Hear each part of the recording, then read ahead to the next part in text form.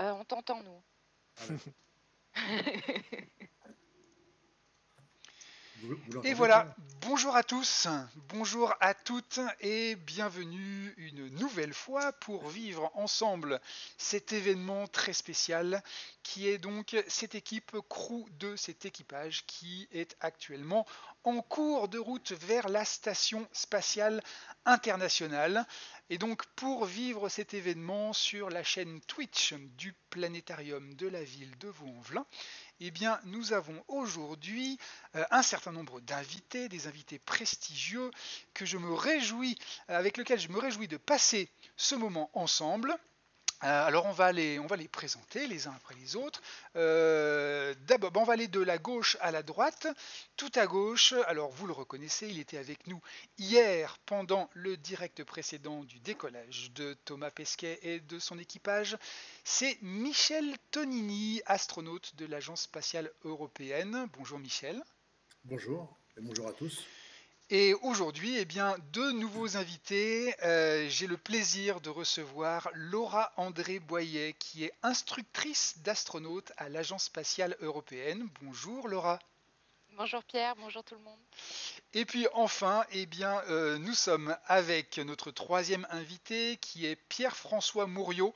Alors Pierre-François Mouriot a un petit diminutif, tout le monde l'appelle comme ça, on l'appelle PIF. Donc bonjour PIF.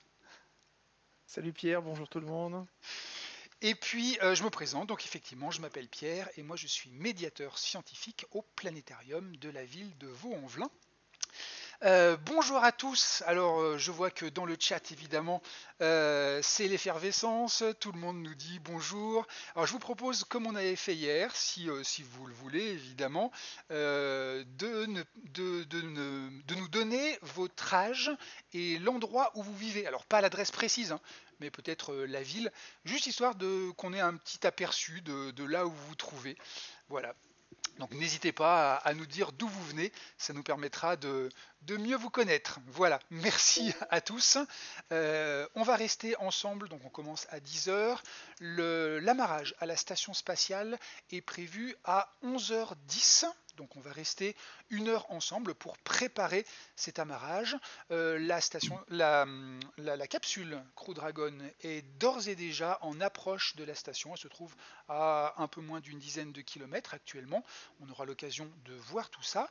Et puis évidemment, le principe sur Twitch, c'est que vous n'hésitiez pas à poser vos questions. Si on arrive à les choper dans ce défilement euh, très très rapide actuellement dans le chat, eh bien évidemment on se fera un plaisir de répondre à vos questions et de discuter tous ensemble pour vivre tout ça. Euh, je le rappelle, l'amarrage de la capsule est prévu pour 11h10. Par contre, l'ouverture de la porte et l'arrivée de Thomas Pesquet et de l'équipage Crew 2 dans la station spatiale, ce sera beaucoup plus tard, ce sera à 13h15. Et, là, je, crois que par contre, nos, invités seront partis sur d'autres obligations. Et donc, pour l'ouverture euh, de la porte euh, cette fois-ci, eh bien, on le dira à la fin du live. Il faudra continuer à regarder ce live sur, euh, par exemple, le site de la NASA, mais il y a plein d'autres endroits où vous pourrez le trouver sur le net, entre autres sur le site du CNES aussi. On en reparlera tout à l'heure. Voilà, j'ai déjà beaucoup trop parlé, alors on va, avant de commencer à discuter tous ensemble, faire un petit point sur la, capsule Crew Dragon, parce que euh, après le décollage, hier dans la soirée, eh bien, euh, on a eu un, petit direct depuis l'intérieur, et donc euh, Thomas Pesquet s'est proposé de faire visiter cette capsule. Donc la première chose, eh bien, je vous propose d'abord d'aller écouter notre ami Thomas nous faire visiter en anglais euh, cette fameuse capsule Crew Dragon et on se retrouve juste après. Thanks, Megan. Hi, everyone. I'm, I'm uh, Thomas, Mission Special Hub, your tour guide today uh, in the Crew Dragon Endeavour capsule. Thanks for flying with us. Welcome on board. Uh, our commander, Shane Kibro. Welcome your pilot, Megan MacArthur. Also, and uh, next will be Aki Hoshide. So as you see, it's pretty roomy. The ride up was fantastic. This is the hatch behind this. Of space, harsh temperature, temperature, bad environment, bad stuff. Inside, very comfy. We feel very well protected. Everything is great. Um, if you if you get closer, you can get a view out the window, and I'll try to give you that if the cable is long enough. And this is what we get to see.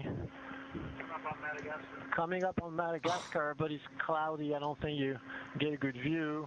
But we'll try to get pictures, and I can show you maybe the cargo area down there because uh, this vehicle is bringing people up to space, but also cargo. And if you follow me, and I'm going to flip and try not to make everybody sick, down there is where we have a little cargo. There's free, there's uh, freezers. Uh, this is our suits, nicely packed.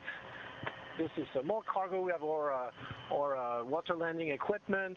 This is all nice and tidy. And behind those walls are a lot of other equipment that we need, clothes, food, and etc. So with that, uh, now that you're familiar with the capsule, I'm going to hand you over to Akihiko Hoshide, Aki for short, from JAXA, and he's going to give you some more information. Voilà. Alors pour la traduction, effectivement, euh, on n'a pas le temps de mettre une traduction, euh, instantanée de la vidéo. Euh, donc Thomas disait bienvenue à tous, rappelait la composition de l'équipage. Donc quatre personnes sont actuellement dans cette, dans cette capsule Crew Dragon. Il s'agit de Shen Kimbro, qui est le commandant de vol, Megan MacArthur, qui est la pilote, Akihiko Oshide et Thomas Pesquet, qui sont tous les deux mission spécialistes, donc spécialistes de mission. Et donc euh, Thomas nous euh, souhaitait la bienvenue dans la capsule, nous montrer la Terre depuis l'un des hublots, et ensuite euh, montrer les endroits où les combinaisons qu'il portait au moment du décollage ont été temporairement rangées, et l'endroit où tous les équipes, une partie des équipements scientifiques étaient entreposés, puisque évidemment, eh bien, on monte dans la station avec énormément de matériel. Voilà. Allez, euh, il est temps de retourner vers nos invités. Alors je propose euh, tout d'abord de, commencer avec Laura. Euh, Laura, alors déjà, comment est-ce que tu te sens actuellement? Bah, Plutôt pas mal, un petit peu. Un petit peu de chaos parce que les, dernières, les dernières heures ont été voilà, palpitantes et importantes, mais aussi un peu crevées des dernières semaines parce que c'est le, le rush final avant le départ et, et voilà les dernières phases euh, d'entraînement. Mais euh, voilà, j'ai hâte euh, de voir la image et puis, et puis la porte qui s'ouvre. Voilà, très excité. C'est sûr. De l'excitation, de la, fatigue, évidemment. alors, de la fatigue, entre autres, on va, parler un petit peu justement de, ton rôle dans toute cette aventure.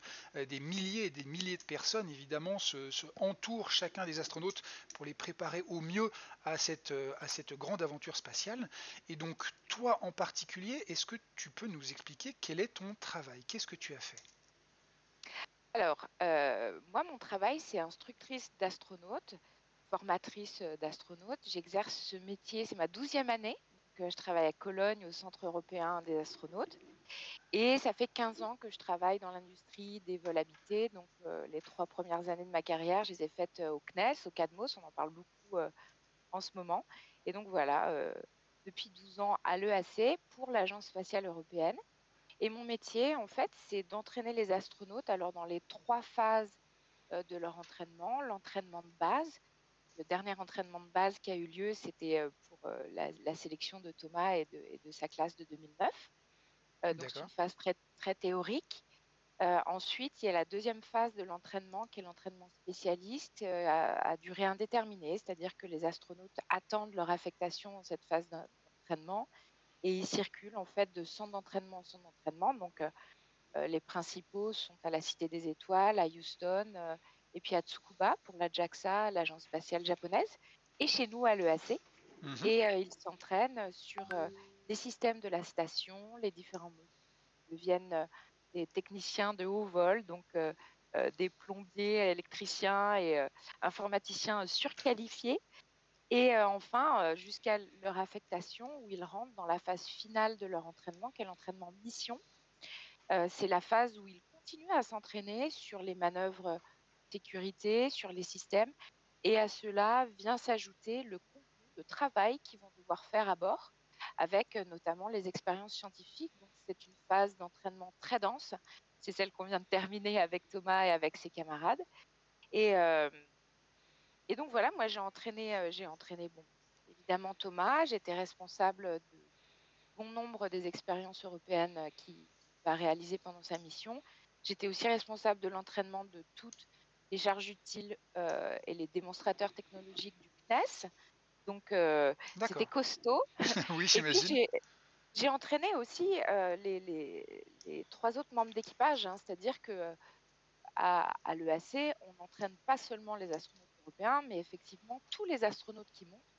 J'ai entraîné euh, Shane, Megan et Aki aussi. D'accord. sur l'image que l'on voit là, tu es en train d'entraîner Thomas à des dispositifs de, de réalité virtuelle, c'est ça? Oui, alors on la réalité virtuelle est un, est un partie de l'équipement, hein, c'est un outil pour cette, pour cette expérience. Cette expérience s'appelle GRASP. Alors, euh, pour euh, la petite histoire et pour plus de précision, c'est une photo qui date de Proxima, puisque euh, Thomas a fait le commissioning de, cette manip, de cette expérience lors de sa première mission. Et il va être sujet à nouveau. Donc, c'est une expérience qui est à bord depuis, que nombreux astronautes ont réalisé. Je les ai entraînés comme Thomas sur cette, sur cette photo. Et Thomas va à nouveau refaire cette, cette expérience pendant la mission Alpha. Et c'est une expérience de neurosciences qui vise à, voilà, à mieux comprendre le système nerveux central. D'accord. je te pose rapidement deux questions qui sont passées dans le, dans le chat. Je te les pose toutes les deux. Après, je te laisse voir l'ordre dans lequel tu veux y répondre. Général Lee qui nous demande est-ce que toi-même tu es déjà parti dans l'espace? Et euh, Gaël Chiffrine du centre de calcul de l'IN2P3 à Lyon, euh, bonjour Gaël, qui elle euh, posait la question qu'est-ce qu'il faut pour devenir instructrice d'astronaute? Est-ce qu'il y a des instructeurs d'instructeurs d'astronautes? Oui, c'est une super bonne question. Ce sont deux, deux, très bonnes questions. Merci à Gaël et Général Lee, je crois. Euh, alors, très rapidement, la plus simple, non, je ne suis jamais partie dans l'espace. Euh, par contre, donc voilà, c'est le métier, euh, c'est le métier des astronautes et d'une poignée aussi de, touristes qu'il y a eu par le passé. Il y en a plusieurs qui vont arriver dans les mois à venir d'ailleurs. par contre, j'ai déjà fait un voyage en impesanteur, donc même plusieurs, parce que je suis instructrice de vol parabolique. Donc ça, on en parlera une autre fois peut-être. et sinon, pour répondre à Gaël, alors voilà, il n'y a pas de profil type pour, être instructeur ou instructrice d'astronaute. la plupart, on est des, ingénieurs quand même. Mais voilà, c'est n'est pas, c'est pas aussi réducteur. On peut venir de, différents profils, qu'ils soient militaires, scientifiques ou d'ingénierie, ou multiples. Hein. D'accord. Moi, moi, je suis à la base, je suis scientifique et, ingénieur. Euh, voilà. Et après, oui, effectivement, il y a des instructeurs d'instructeurs. Ça s'appelle euh, euh, exactement comme ça. Hein. On suit des programmes, on suit des programmes qui nous apprennent notre métier, et qui nous apprennent à devenir instructeur. Oui, absolument. D'accord. Merci beaucoup Laura. Euh, je vais passer la parole à notre deuxième invité euh, qu'on a déjà vu effectivement hier. Il s'agit donc de Michel Tonini. Euh, Michel, on en avait parlé déjà hier. Tu, donc, tu es astronaute de l'Agence spatiale européenne. Euh, tu as volé euh, deux fois. Tu as volé une fois en 1992 euh, sur un Soyuz pour aller dans la station Mir et en 99 sur la navette spatiale américaine Columbia, voilà, pour mettre en orbite entre autres le, le, très important satellite Chandra qui étudie l'univers dans le domaine des rayons X. mais comme on le disait hier, tu n'as pas eu euh, dans ta vie que le rôle d'astronaute, parce qu'une fois qu'on a fait toutes les missions, eh bien, il faut aussi qu'on euh, apprenne aux jeunes euh, aussi à, qu'on entraîne les jeunes et qu'on les sélectionne. Et ça aussi, c'est un travail que toi, tu as fait. C'est ça. Donc, j'ai fait mes deux vols, hein, comme tu l'as dit, Pierre, en 92-99, chez les Russes, chez les Américains. Et à cette époque, j'étais dans l'agence spatiale française qu'on appelle le CNES. Mhm. Et quand j'ai fait mon deuxième vol et je m'apprêtais à faire un troisième vol, mais a eu lieu l'accident de Columbia en 2003.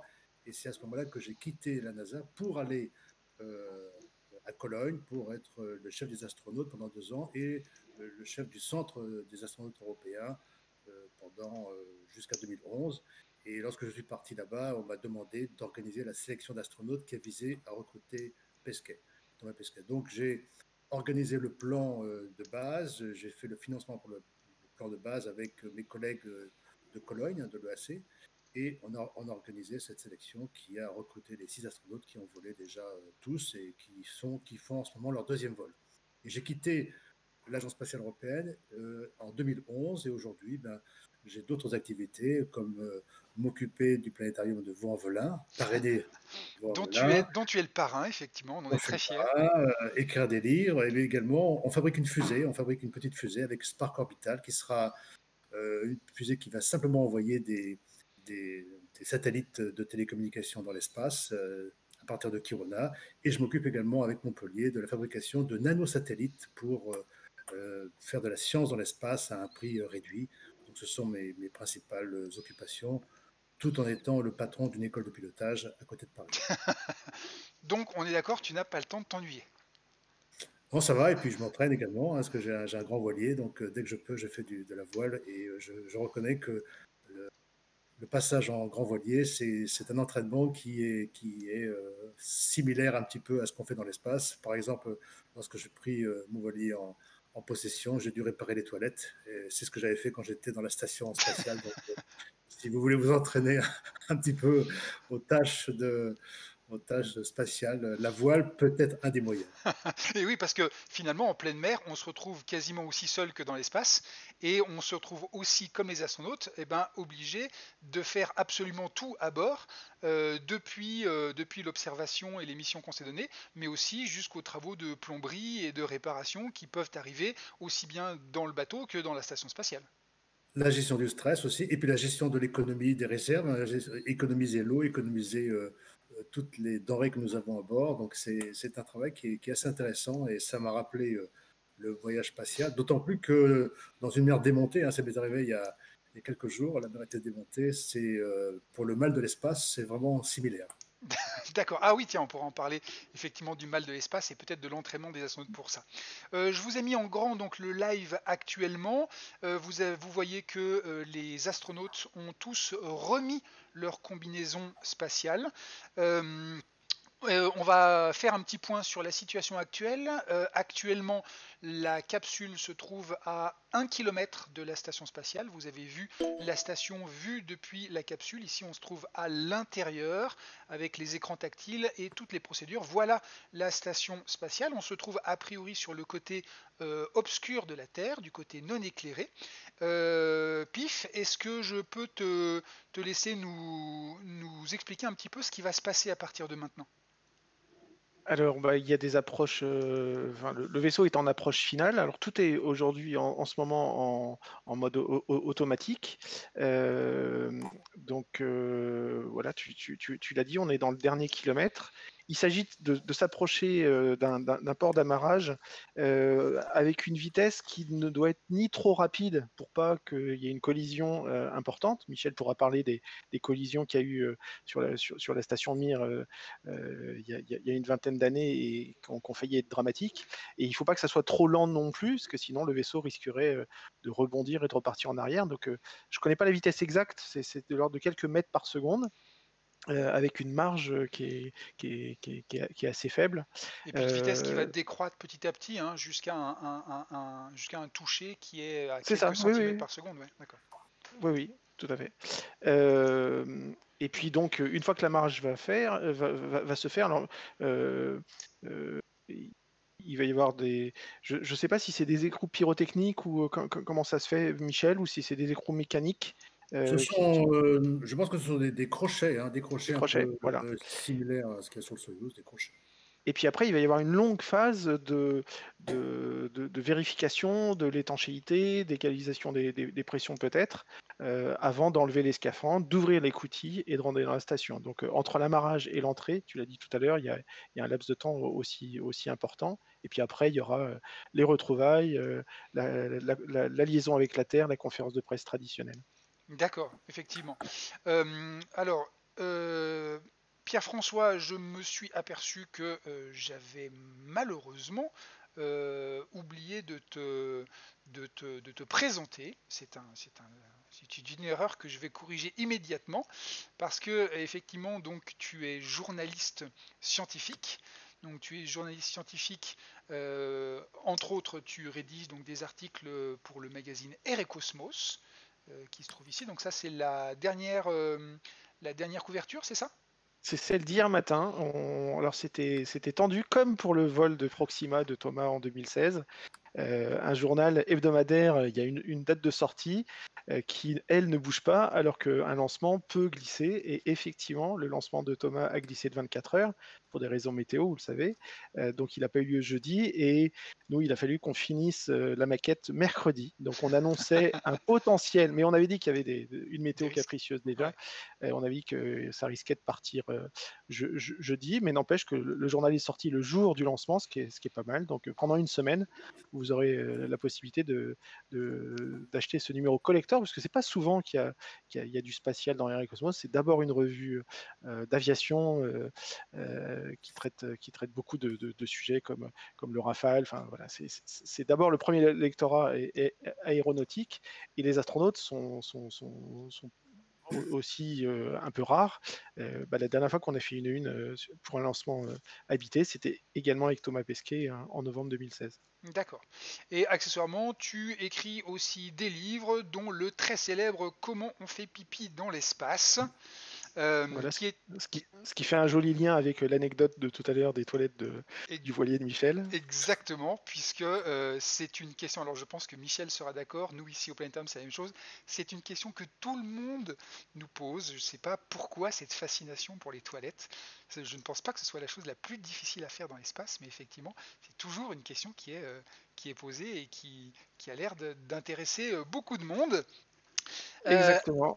C'est, alors j'ai repris tout simplement le titre, il est, il est amusant, mais euh, pour le coup, euh, je, reconnais qu'il n'est pas de moi. J'ai repris le, titre d'un livre de, d'anecdotes de, William Pogg, un astronaute de, la NASA, qui était sur le laboratoire Skylab, qui est un ancêtre de la Station spatiale internationale américain, et qui, pendant des années, comme Michel, comme tous les astronautes français, ont fait des dizaines et des dizaines, si ce n'est des centaines de conférences euh, grand public. Et il s'est amusé un jour en disant bon bah à force de poser des questions, je vais peut-être coucher par écrit euh, les, réponses les plus amusantes ou les plus singulières. Et forcément, alors c'est pas tout à fait la même formulation, parce qu'en anglais ils sont peut-être un peu plus pudiques, euh, mmh. c'est comment vous allez aux, toilettes dans, dans l'espace, mais c'était le, livre le, titre de son livre qui a dû sortir au milieu des années 70, début des années 80. Donc c'est un, hommage à William Pogg que j'ai fait avec ce titre, et été accepté tout de suite par, Port Fleurus. D'accord. Ceci dit, ceci dit, si je peux me permettre, c'est une chose qui est très importante parce que euh, certains ont dû louper le coche en faisant euh, leur toilette dans l'espace. C'est pour ça qu'on a un simulateur de toilette à la NASA pour s'entraîner à bien faire comme il faut la checklist et à ne pas casser ce système qui est assez précieux et, assez vital. D'accord. Euh, alors justement, je voulais revenir vers Michel et Laura. Alors je crois que Laura a un, petit souci technique. Nul doute qu'elle va, qu'elle va, qu'elle va revenir d'un instant à l'autre pour continuer à discuter avec nous. je reviens vers toi, Michel. Deux questions que j'ai vues passer dans le chat. La première, pourquoi alors que Thomas Pesquet est français, pourquoi est-ce qu'il parle en anglais? Mmh. Et l'autre question qui était euh, combien de temps approximatif dure l'entraînement total d'un astronaute euh, avant de monter dans l'espace? Alors, il parle anglais parce qu'il est dans un vaisseau euh, Crew Dragon qui est affilié à la NASA. Et à la NASA, on parle l'anglais. Donc, c'est la langue commune pour tous ceux qui sont dans le secteur américain, dans le, ce qu'on appelle le USOS. dedans, il y a dans ce, crew, dans ce crew Dragon, il y a deux Américains, un Japonais et un Européen français. Donc la langue commune, c'est l'anglais. D'ailleurs, dans la station spatiale, les deux langues parlées sont euh, l'anglais et le russe, mais la langue officielle est quand même l'anglais. Ceci dit, si on fait un vol euh, uniquement en Soyuz, et ça arrivera dans le futur d'avoir des, Américains qui volent euh, vers la station et de la station avec le Soyuz, eh bien comme le centre de contrôle de Kaliningrad est majoritairement des Russes qui ne parlent pas l'anglais, eh bien, la, langue qu'on utilise, c'est euh, l'anglais. C'est le russe, pardon. Donc, euh, on doit savoir, quand on est astronaute, parler euh, au, moins, au moins le russe et l'anglais. le, français, le français n'est pas nécessaire, mais juste l'anglais et le russe. D'accord. Le français, c'est pour avoir un bel accent. Voilà. et Laura, tu es revenue avec nous. tu, tu nous entends? Oui, oui, oui, je, je vous ai, je vous ai jamais quitté en fait, c'est juste euh, ma webcam qui cafouille. D'accord, Voilà. qui, nous, qui nous a fait coucou. Euh, euh, on avait une question sur la durée d'entraînement des astronautes. Euh, Est-ce que tu peux nous en parler un petit peu? Alors oui, mais c'est toujours difficile de, de- de donner des chiffres exacts quand même, hein, donc euh, voilà, je trouve ça toujours un petit peu risqué. Mais donc les trois phases d'entraînement dont je parlais tout à l'heure, le basic training, il dure environ entre 16 et 18 mois. Euh, donc ça, c'est incompressible. hein, On les remet à niveau dans tout. Ils apprennent à parler couramment le russe euh, et euh, des tas de choses. Euh, et euh, ensuite, euh, l'entraînement donc à durée indéterminée de, de spécialistes. Je pense que euh, Michel, je ne sais pas si tu es d'accord, mais c'est très difficile d'avoir quelque chose inférieur à un an. Euh, D'accord. Tu, tu- tu parles de l'entraînement complémentaire où ils vont dans les différents centres, c'est ça? C'est En- ça, ouais. oui. Au minimum un an, ça peut être Oui, plus. Au un an. Un an, Ouais. c'est bien. Un an. Et, euh, et ensuite, la phase de mission, euh, d'entraînement de mission. Donc voilà, euh, pour Thomas, pour le coup, on a vraiment speedé. Il a fallu tout faire en dizaines de mois. C'était vraiment très, très short. D'accord. En général, on a une phase d'entraînement de mission entre un, un an, un an et demi, jusqu'à deux ans. C'est un entraînement très long. C'est un entraînement qui est très long. D'accord, effectivement. Merci beaucoup. Euh, je remonte des, questions qui arrivent euh, dans le chat. Après, je, vous laisse euh, chacun prendre la parole en fonction de, celui qui se sent, ou celle qui se sent le plus à l'aise pour, pour nous répondre. Une question qui, se posait là tout à l'heure qui disait pourquoi est-ce que tous les vaisseaux qu'on envoie sont blancs? Est-ce que quelqu'un veut répondre? Alors déjà, je suis pas sûr que tous les vaisseaux soient blancs. Euh, mais est-ce que est-ce qu'il y a une raison à- aux, couleurs? Est-ce que c'est une raison thermique par exemple, ou est-ce que euh, est-ce que ça, dépendra des constructeurs? Je pense que tu as donné un, euh, une partie de la réponse et que, que la réponse est variable. Euh, le, vaisseau d'amarrage euh, japonais, par exemple, lui, il est totalement doré. euh, et c'est une question aussi, c'est sa couverture euh, thermique. Euh, le vaisseau euh, qu'on voit d'ailleurs à l'écran, là, euh, on voit à l'image le, le dragon qui s'approche. euh, C'est une caméra d'ISS qui est en train de le filmer à l'approche, tout doucement. Donc lui, il est blanc et la peinture blanche, effectivement, c'est très certainement pour, euh, pour réfléchir la lumière du, du soleil et, et garantir une, que, que le, le- le vaisseau chau- chauffe pas trop. Euh, parce qu'effectivement, on le rappelle, euh, c'est vrai que dans l'espace, les choses se passent euh, assez différemment de sur Terre. Euh, ah, là, on est en train de voir une partie de la station spatiale internationale qui se, qui se découvre alors que le vaisseau Crew Dragon, Dragon continue son approche. Euh, dans l'espace, les choses sont très différentes de ce qu'on a l'habitude, de ce qui nous semble évident et logique sur Terre. Par exemple, si je pose, euh, si je pose euh, un- un- une boîte dehors au soleil, eh bien, le- la partie au soleil de la boîte et la partie à l'arrière auront quelques degrés de différence. Dans l'espace, il n'y a pas de, de convection, il n'y a pas d'air pour homogénéiser cette température, ce qui fait que les parties éclairées euh, sont éclairées par le rayonnement solaire et les températures peuvent monter assez haut, euh, de l'ordre d'une centaine de degrés, et euh, quelques dizaines de centimètres à côté, les parties qui sont sombres, elles, peuvent être extrêmement froides. Les contrastes thermiques sont beaucoup plus importants dans l'espace que sur Terre. C'est bien ça. C'est ça, tu as bien, bien résumé, Pierre. hein. D'ailleurs, on, on calcule à peu près plus ou moins 150 degrés euh, face au soleil, plus 150, face à l'ombre, moins 150. Ceci Ouais. dit, quand on est en scaphandre, on- les, les- les valeurs de référence sont plus ou moins 100 degrés. Ce qui faut que le scaphandre absorbe euh, ces écarts de température. C'est pour ça que les scaphandres sont blancs pour bien résister euh, et au chaud euh, et, et au froid. On a une combinaison interne qui va nous chauffer le corps. Oui, avec des, des systèmes, de, des systèmes euh, euh, de- hydrauliques qui permettent de transférer la chaleur de la partie chaude à la partie froide. Euh, c'est, bah, finalement, c'est un Mm. environnement qui est extrême, hein, le- le- l'espace. C'est ça, extrême. Laura, une petite question qui était posée dans le, dans le chat. Euh, et du coup, je vais faire une extension aussi, euh, aussi pour toi. Euh, quelles sont les qualités qu'il faut avoir pour être astronaute Et euh, je vais te poser la question, quelles sont les qualités qu'il faut avoir pour être instructrice? J'imagine que la réponse ne sera pas tout à fait la même. quoi. Ou alors ce sera la même et dans ce cas, détrompe-moi, il n'y a aucun problème. non, non, non. Euh, alors, c'est vrai que c'est pas simple. Hein. C'est peut-être Michel, il pourra, il pourra m'aider pour, pour, me faire la liste de toutes ses qualités. Mais déjà, déjà voilà, il faut, euh, il faut être euh, studieux. Faut aimer, euh, faut aimer le, le travail. Il faut aimer apprendre en permanence. Et puis, je pense qu'il faut savoir être patient aussi, parce qu'on a parlé de la durée de l'entraînement qui est in fine à, durée indéterminée. Donc euh, voilà, le travail, la constance, la patience. Et puis après, on sait que les sélections, euh, voilà, euh, il y a très très peu d'élus. Hein. il faut une forme physique, il faut une grande stabilité psychologique aussi. Donc voilà, être astronaute, c'est quand même un éventail très très large de, de, qualités.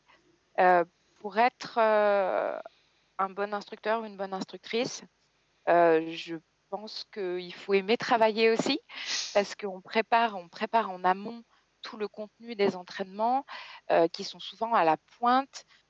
donc voilà, il faut aimer étudier, il faut aimer dérouler tous ces documents, toutes ces connaissances et transformer en fait, réencoder tout ce contenu afin de déjà le rendre au standard de la pédagogie ESA mmh et et vraiment, euh, euh, voilà, de, façon à ce qu'on puisse entraîner de la meilleure façon qui soit nos astronautes et euh, la façon la plus agréable aussi parce qu'ils passent une très grande partie de, leur temps en entraînement. Donc voilà, donc le travail et puis et puis une grande compréhension de l'empathie aussi pour nos élèves qui ont une vie que beaucoup envient mais qui est très difficile. Euh, voilà. D'accord. Effectivement, le, métier d'astronaute est loin d'être un métier qui est aussi simple euh, que ça. C'est un métier qui fait rêver. Euh, on a tous rêvé, enfin j'ai rêvé d'être d'être astronaute. J'en rêve encore d'ailleurs. mais effectivement, c'est beaucoup de, de, de, dons de soi, beaucoup de, dévouement. Et, et, il faut rappeler effectivement que ça prend énormément de temps, que ça prend énormément de travail et qu'il s'agit vraiment de, d'une vie entière qui est dédiée à, ça. Hein. C'est, extrêmement prenant. D'accord.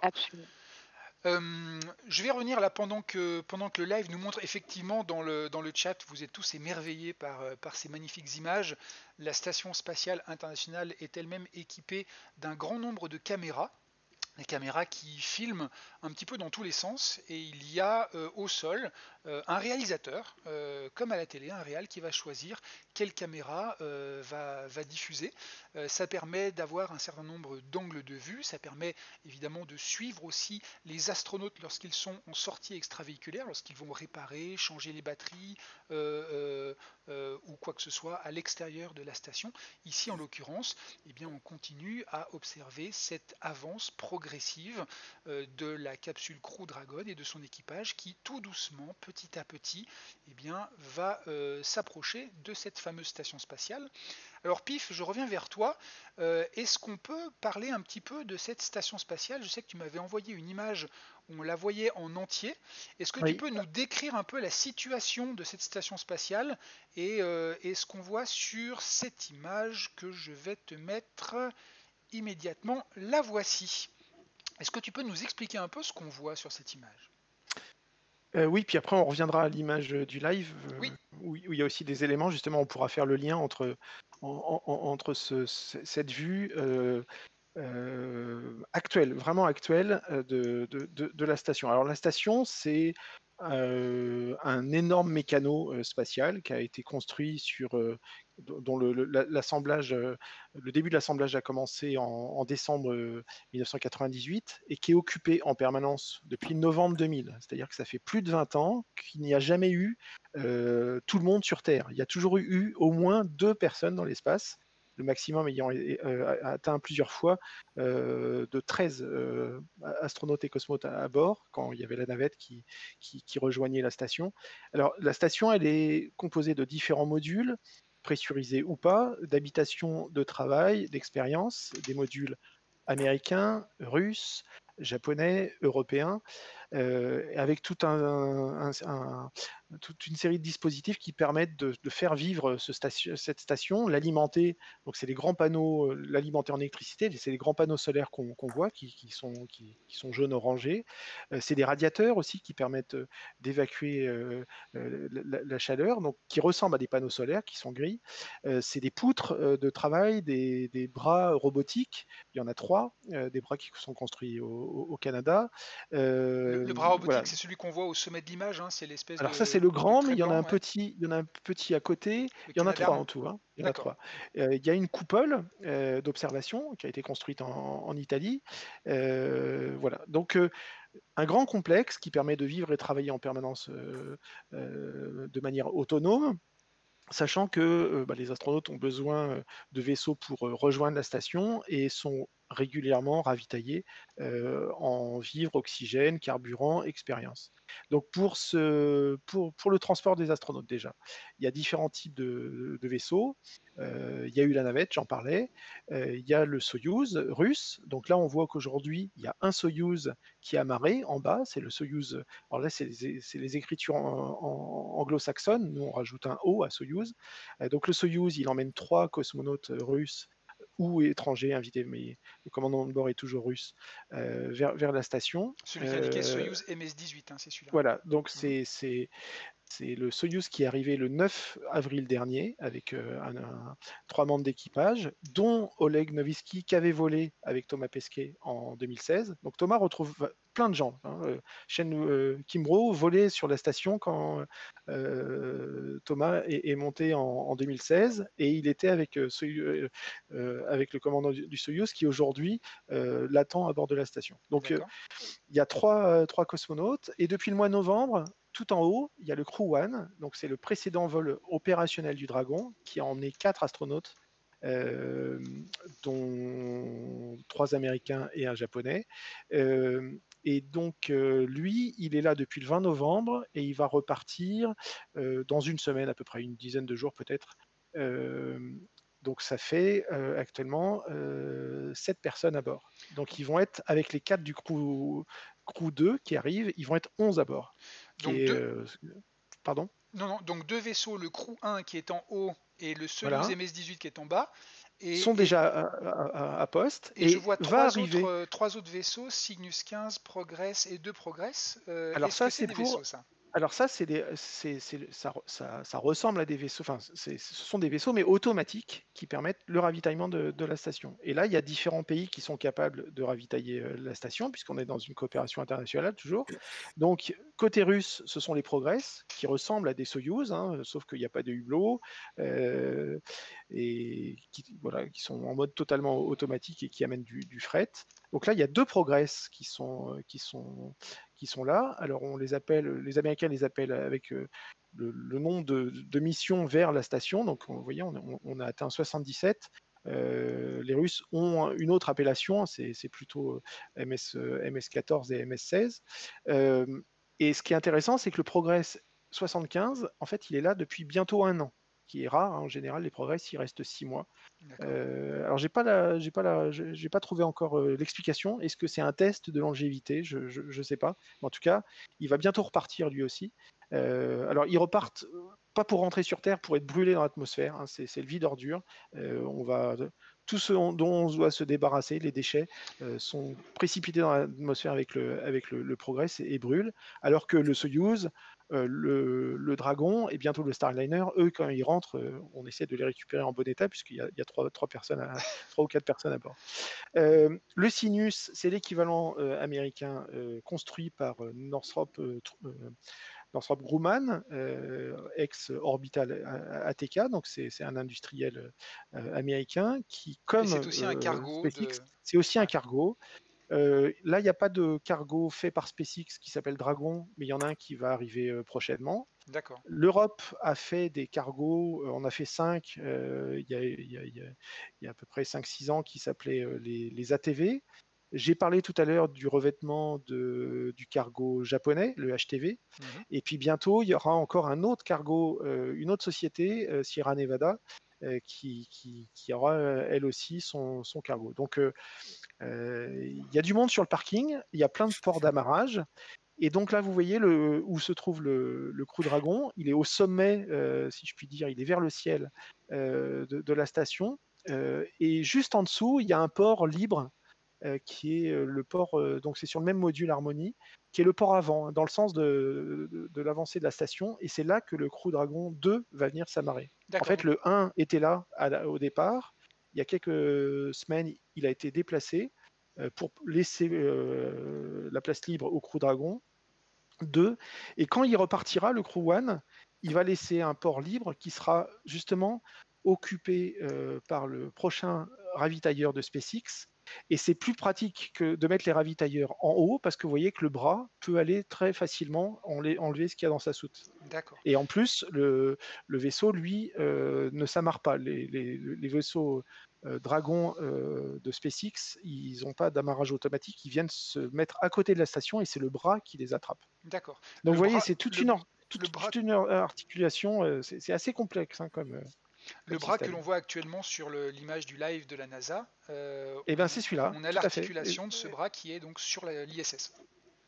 Tout à fait. Alors c'est des bras avec, euh, je sais plus combien, 6 degrés de, de, de liberté, Michel euh, 7, 7, même. 7, 7 degrés. 7, 7 euh, degrés voilà. De la navette américaine, mais je crois qu'ils en ont 7, parce que c'est un bras ça. qui marche. Il peut s'attacher à un point euh, et puis remettre le point final et puis se lever et marcher tout le long de la station. D'accord. On voit d'ailleurs les magnifiques images actuellement euh, vues depuis la capsule et vues depuis la station. Donc cette approche est actuellement encore en cours. Euh, Michel, j'ai une question. Euh, Est-ce que des météorites peuvent abîmer la station? Puis je crois que tu avais une, anecdote qui est arrivée cette nuit au, à la capsule concernant justement les procédures d'évitement. Alors là, si on regarde euh, la photo du live, vous voyez euh, la photo du Crew Dragon et puis la Terre qui est en dessous. Il y a le bras robotique et vous voyez le petit, le petit liseré bleu que vous voyez, c'était l'atmosphère. C'est ce que disent tous les astronautes et les cosmonautes lorsqu'ils vont dans l'espace. On voit cette couche d'atmosphère qui mesure à peine 100 km. Et la chose la plus impressionnante et qui fait le plus peur, c'est pas tellement pour nous qui sommes là-haut, c'est pour les terriens qui sont là, parce qu'on se dit, ben, on, tient, on tient en vie grâce à cette couche d'atmosphère. Et donc, euh, c'est pour ça qu'on est un petit peu inquiet et c'est pour ça qu'on veut aller dans le, futur sur Mars pour comprendre pourquoi l'atmosphère de Mars a, disparu. Et c'est pour rappeler que nos missions dans l'espace ont quand même aussi une notion d'écologie au sens large.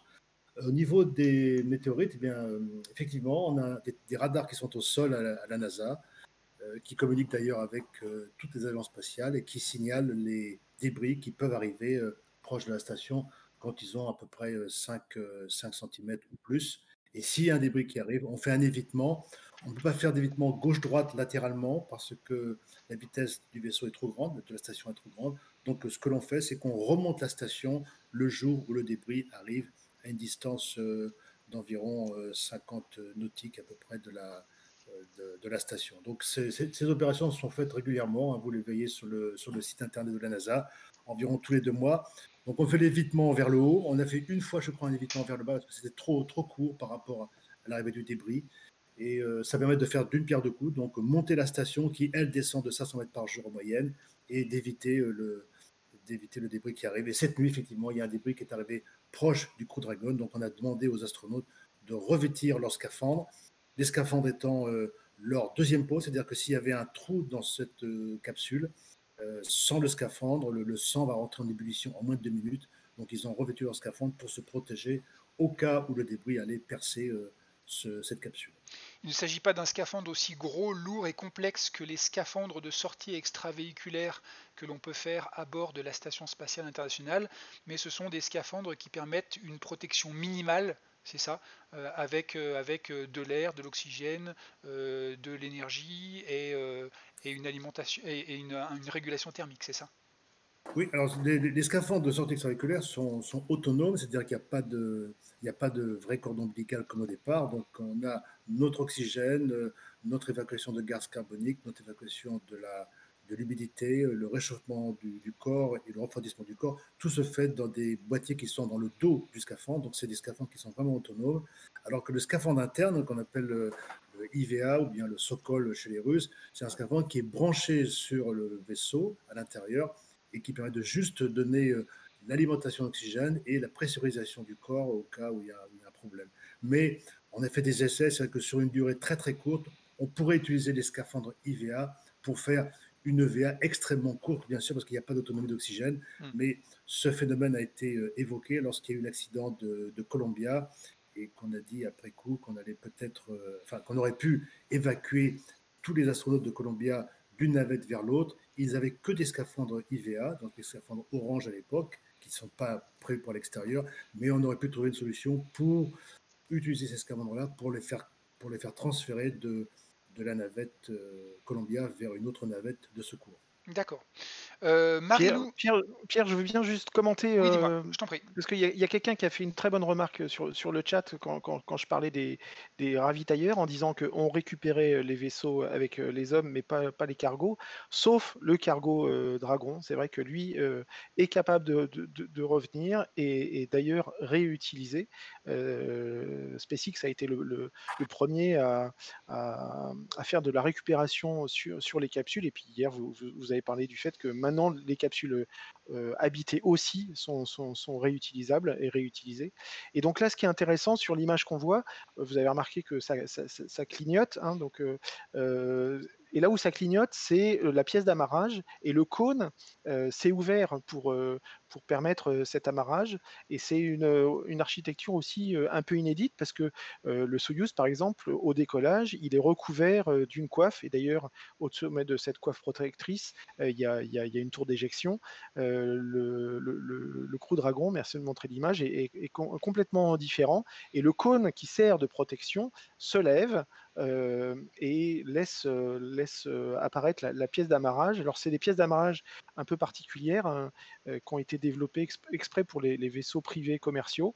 il y en a deux qui sont, qui sont placés sur le module Harmonie et on voit le, justement la, pièce vers, laquelle le, le, Crew Dragon va aller s'amarrer dans, dans combien de temps maintenant? Une, une, vingtaine de minutes. Voilà. Euh, ici, on voit la station spatiale. Alors, Marilou demandait que veut dire ISS. C'est vrai qu'on utilise souvent cet acronyme sans l'expliquer. ISS, c'est International Space Station, donc Station spatiale internationale. On voit parfaitement ici ce que tu nous avais dit, Pif, avec en haut le, le Crew One la Crew Dragon qui est, rangée en haut et en bas on avait les cargos qui étaient posés en dessous sur la, photo de, l'ISS vue depuis la Crew Dragon.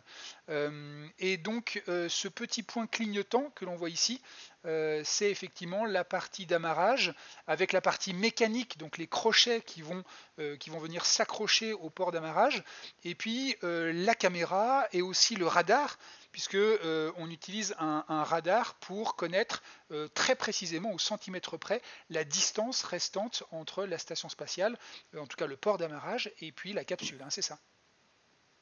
Exactement. Tu as tout dit là. Donc, donc tout, a été, tout a été concentré. une autre chose qu'on voit assez bien sur cette image, si vous regardez sur la gauche, donc à l'arrière de la capsule, eh bien, on voit que en bas euh, on a une partie qui est plutôt blanche et au-dessus de l'aileron, la partie haute qui elle est tout à fait noire. Euh, ça c'est parce que la partie haute est recouverte de panneaux solaires puisque euh, effectivement on l'a pas dit mais la source d'alimentation électrique la source d'alimentation effectivement est une, est une source électrique et donc ce sont les panneaux solaires qui alimentent qui remplissent les batteries de la capsule. Voilà, après, juste, moi, euh, cette image, moi, me fascine depuis, depuis le premier vol euh, euh, d'essai habité des mots 2, voir ces écrans tactiles. Enfin, j'ai l'impression que c'est un copier-coller de 2001 Odyssée de l'espace. Moi, j'adore personnellement cette image. Je ne sais pas, Michel, toi qui, qui, a volé sur Soyuz, qui était un vaisseau avec une architecture quand même qui date même si elle a, évolué, mais qui date des années 60, c'est révolutionnaire, non? C'est complètement révolutionnaire, mais vous savez que maintenant, même le Soyuz a des écrans plats. Ils ont des écrans plats qui sont permutables. Donc, la place de gauche, qui est l'ingénieur de bord, la place du milieu, qui est le commandant de bord, ont deux écrans. Ils peuvent permuter de l'un à l'autre, puisque, comme le commandant de bord est un peu plus en retrait, il doit se servir d'une tige pour accéder à ses commandes. Et souvent, ces actions sont faites par euh, l'ingénieur de bord qui est à gauche pour euh, que ce soit plus facile. Je t'ai mis une photo du Soyuz là pour, euh, pour qu'on voit un peu la différence avec la Crew Dragon. C'est vrai que la, géométrie est, très très différente. Après, le, le Soyuz, euh, c'est effectivement une architecture qui est, qui est plus ancienne, qui n'est pas moins fiable, mais qui est plus ancienne. Euh, ici, ici d'ailleurs, Michel, sur, le, sur le Soyuz qu'on voit, il y a une petite barre verte. Donc ça, c'est le périscope en situation d'urgence qui est déployé et qui permet à l'œil de pouvoir, sans instrument, de pouvoir continuer la, procédure d'amarrage, hein, c'est ça? On peut faire euh, non seulement la, procédure d'amarrage en visuel, on a l'information par la télévision, mais également le visuel, mais également ça permet d'avoir une modification du système d'orientation par rapport à la Terre. On peut passer du ISK à l'OSK, qui sont les deux, deux systèmes de référence lorsque nous sommes euh, à bord. Et euh, l'OSK, permet d'avoir la, la, bonne verticalité entre le vaisseau et la Terre, et l'orientation du vaisseau par rapport à la Terre pour faire euh, l'allumage des moteurs pour une rentrée dans l'atmosphère assez précise. D'accord. Euh, on revient sur euh, cette image absolument magnifique. Hein. On voit donc les, cargos qui se trouvent en dessous de la station. On a la Crew Dragon One qui est en haut, euh, qui est amarrée. Et puis en face, le petit rond le petit rond euh, noir, et eh ben ça c'est le port d'amarrage vers lequel la Crew Dragon, Dragon est petit à petit en train euh, de s'approcher. Et puis on peut parler des deux modules qui sont de part et d'autre, puisque pour le coup on, les voit très distinctement. donc à droite de l'image, qui fait une sorte de U, enfin de L, pardon, euh, à l'envers, euh, c'est le grand module euh, Kibo japonais. et puis de l'autre côté, c'est le module européen Columbus. Et ce sont deux modules qui sont arrivés en 2008 et qui servent d'expérience des expériences que, que, que, sur, sur, lesquelles Laura entraîne, entraîne les astronautes constamment. On va, revenir justement euh, à Laura pour parler des expériences. Juste avant, euh, cette vue est absolument somptueuse, elle est superbe. Est, on est à l'intérieur du vaisseau avec Thomas Pesquet en train de se déplacer doucement vers cette immense architecture spatiale technologique dédiée à la recherche scientifique qui est la Station spatiale internationale. Euh, une petite chose pour les geeks de l'assistance, il y en a certainement au moins un ou deux qui se trouvent, euh, par ici. Euh, je voulais juste vous signaler pour les gamers et gameuses du groupe, de l'équipe, que SpaceX donc, a prévu aussi un petit jeu auquel vous pouvez, euh, jouer. Je vous le montre ici, il s'appelle ISS Docking Simulator. Vous, tapez ça dans Google euh, sur un, sur un onglet à côté, ISS Docking Simulator. Euh, on va vous donner le, lien dans le, dans le chat. Et donc vous pourrez vous aussi être dans la Crew Dragon et constater la difficulté pour, pour, pour docker, pour amarrer pardon, une capsule à la station donc c'est pas pour rien que Laura passe, euh, passe du temps à entraîner les astronautes. C'est pas pour rien que ces astronautes sont entraînés après au pilotage de ces vaisseaux. C'est extrêmement complexe. Mais si vous voulez euh, vous ressentir à l'intérieur, recommencer cette expérience autant de fois que vous le voulez, eh bien n'hésitez pas à essayer. C'est en ligne euh, sur navigateur ISS Docking Simulator. Amusez-vous avec ça. Vous avez tout le week-end et tout le temps qu'il faut pour ça. Voilà, c'était la petite, euh, la petite remarque euh, ludique. Euh, n'hésitez pas. Et puis là, je reviens à Laura pour justement rebondir sur ce que nous disait Pif. Qui a dû avoir un petit problème technique, mais qui nous parlait justement de ces fameuses expériences. Depuis tout à l'heure, on suit l'approche de l'ISS, mais pourquoi est-ce qu'on va dans l'ISS? Qu'est-ce que Thomas va faire dans cette grande station spatiale? Alors, euh, en fait, on a perdu Pif qui est parti jouer au, jeu euh, dont tu viens de parler. D'accord, il est parti s'entraîner. Il va, va pas revenir. Euh, oui, donc alors à bord de la station, on voit des, hommes et des femmes, des astronautes à bord de l'ISS travailler pour continuer l'exploration en orbite basse terrestre. donc, on entraîne les astronautes à la maintenance de la station, s'il faut changer des pièces, etc. Et le contenu de la mission, c'est vraiment les expériences scientifiques euh, euh, qu'ils vont faire. Donc pour Thomas, je crois qu'à bord, en ce moment, il y a à peu près plus de 250, 260 expériences. Alors bien sûr, Thomas va pas faire 260 expériences, il va en faire une centaine. Et euh, pour l'ESA, au sein de l'ESA, donc on, a développé plusieurs dizaines. Mmh. Et il y, a différents, il y a différents domaines. Donc voilà, alors qu'est-ce qu'on fait? À quoi ça sert d'aller à bord de l'ISS Eh bien, on va exploiter l'ISS en tant que laboratoire unique parce qu'il n'y a que là-haut où on peut véritablement mener à bien des expériences en sciences de la vie, en biologie, en physique des fluides, en radiation et aussi des, démonstrateurs technologiques et profiter euh, de, cet environnement euh, d'impesanteur de longue durée. Il y a d'autres plateformes de gravité partielle, mais jamais avec euh, un accès aussi longue durée. Donc, je ne sais pas si tu veux qu'on donne des petits exemples de ce qu'il va faire. On peut donner quelques exemples pendant que, pendant que la, capsule, cette, cette, cette, séquence est absolument somptueuse, où on voit justement la capsule approcher tout doucement. Euh, juste, je fais une petite précision, euh, cette approche se fait par étapes, donc elle va approcher, puis s'arrêter, on vérifie que tout va bien, ensuite elle continuera à s'approcher, ça va se faire petit à petit. Euh, excuse-moi je, de te couper, mais c'est vrai que cette vue est absolument merveilleuse. Ouais, ouais, et puis là, on est à, on est à quoi? 13 minutes C'est vrai qu'on va se rapprocher. Donc, très brièvement, pour, pour euh, finir sur, le, sur les expériences. Dis-moi. Euh, voilà, donc Thomas, par exemple, on va utiliser le fait qu'il soit humain et qu'il ait son corps. Donc, on va regarder l'évolution en fait de sa physiologie, de son système cardiovasculaire, de comment évoluent aussi ses capacités au niveau de son système nerveux. On parlait de la robotique. Donc, euh, ah là, tu as mis une photo, euh, euh, as mis une photo donc, avec David Saint-Jacques, qui, est un, qui est un astronaute québécois de la CSA. Et là, alors c'est une machine que j'adore. elle s'appelle ECHO. C'est un échographe, donc faire des échographies. mais malheureusement, alors David, c'est pas le meilleur exemple parce qu'il est médecin, hein, il est médecin et astronaute, mais tous les astronautes ne sont pas médecins et on n'a pas le temps les former euh, notamment euh, à la radiologie ou comment euh, réaliser un examen d'échographie. Uh-huh. Donc la solution a été trouvée. cet échographe permet d'être télécommandé depuis le sol. donc vous imaginez au sol, donc depuis la France, depuis la Grande-Bretagne et aussi depuis le Canada, il y a des postes de commande en fait de, ce, de cet échographe qui peut être téléguidé avec une sonde en fait euh, qu'on manipule exactement de la même façon. Et euh, attends, il faut muter euh, Michel peut-être? Oui, je, m'en occupe. alors, il est là. Voilà, c'est bon.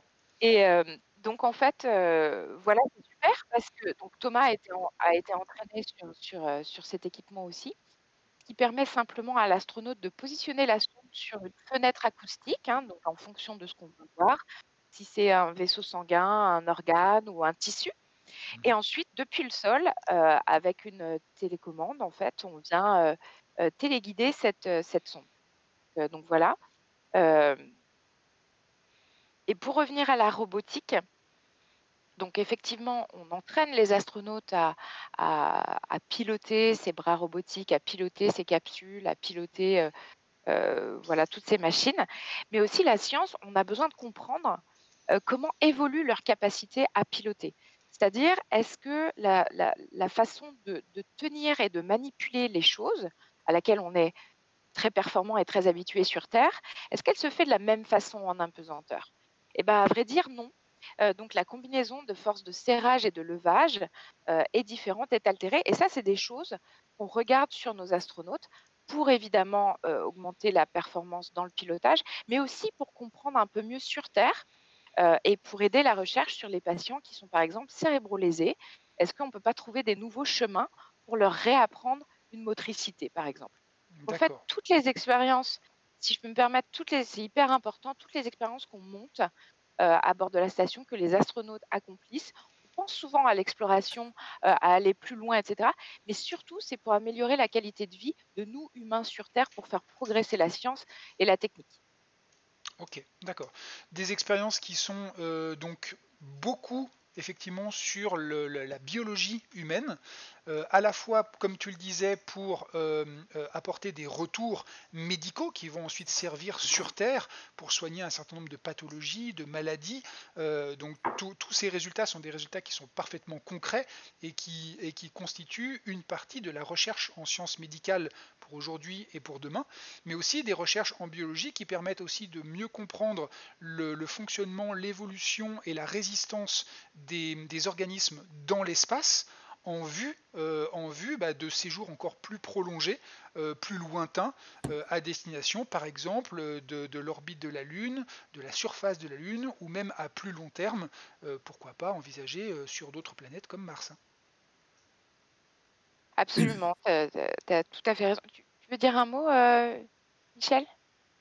Euh, sur, euh, pas compris. Sur, le, sur, le, sur le, la recherche médicale et son application à la fois sur la médecine, mais aussi sur le futur de, du spatial, c'est-à-dire à destination de la Lune, voire plus loin dans le système solaire. Oui, c'est très important d'ailleurs parce que tous les vols que nous avons faits jusqu'à présent depuis 60 euh, ans ont été principalement des vols en orbite basse à 400 km d'altitude. Et par exemple, l'un des, des problèmes que nous allons pour le futur, c'est lorsque nous irons sur la Lune, on va dépasser les ceintures de Van Allen, donc c'est le champ magnétique qui est autour de la Terre, et on va avoir plus de radiations, donc on veut savoir quelle est la nature de ces radiations, et en plus comment se protéger des radiations pour ensuite aller vers Mars de façon euh, euh, tout à fait sécurisée. Donc aujourd'hui, on a quand même un problème avec les radiations qui est important. Il y a aussi des études sur la psychologie, des études sur le cardiovasculaire, sur le neurosensoriel, euh, sur pas mal d'équilibres qui sont des équilibres sur le corps humain qui sont nécessaires de bien connaître avant de, partir faire des expéditions très lointaines. D'accord.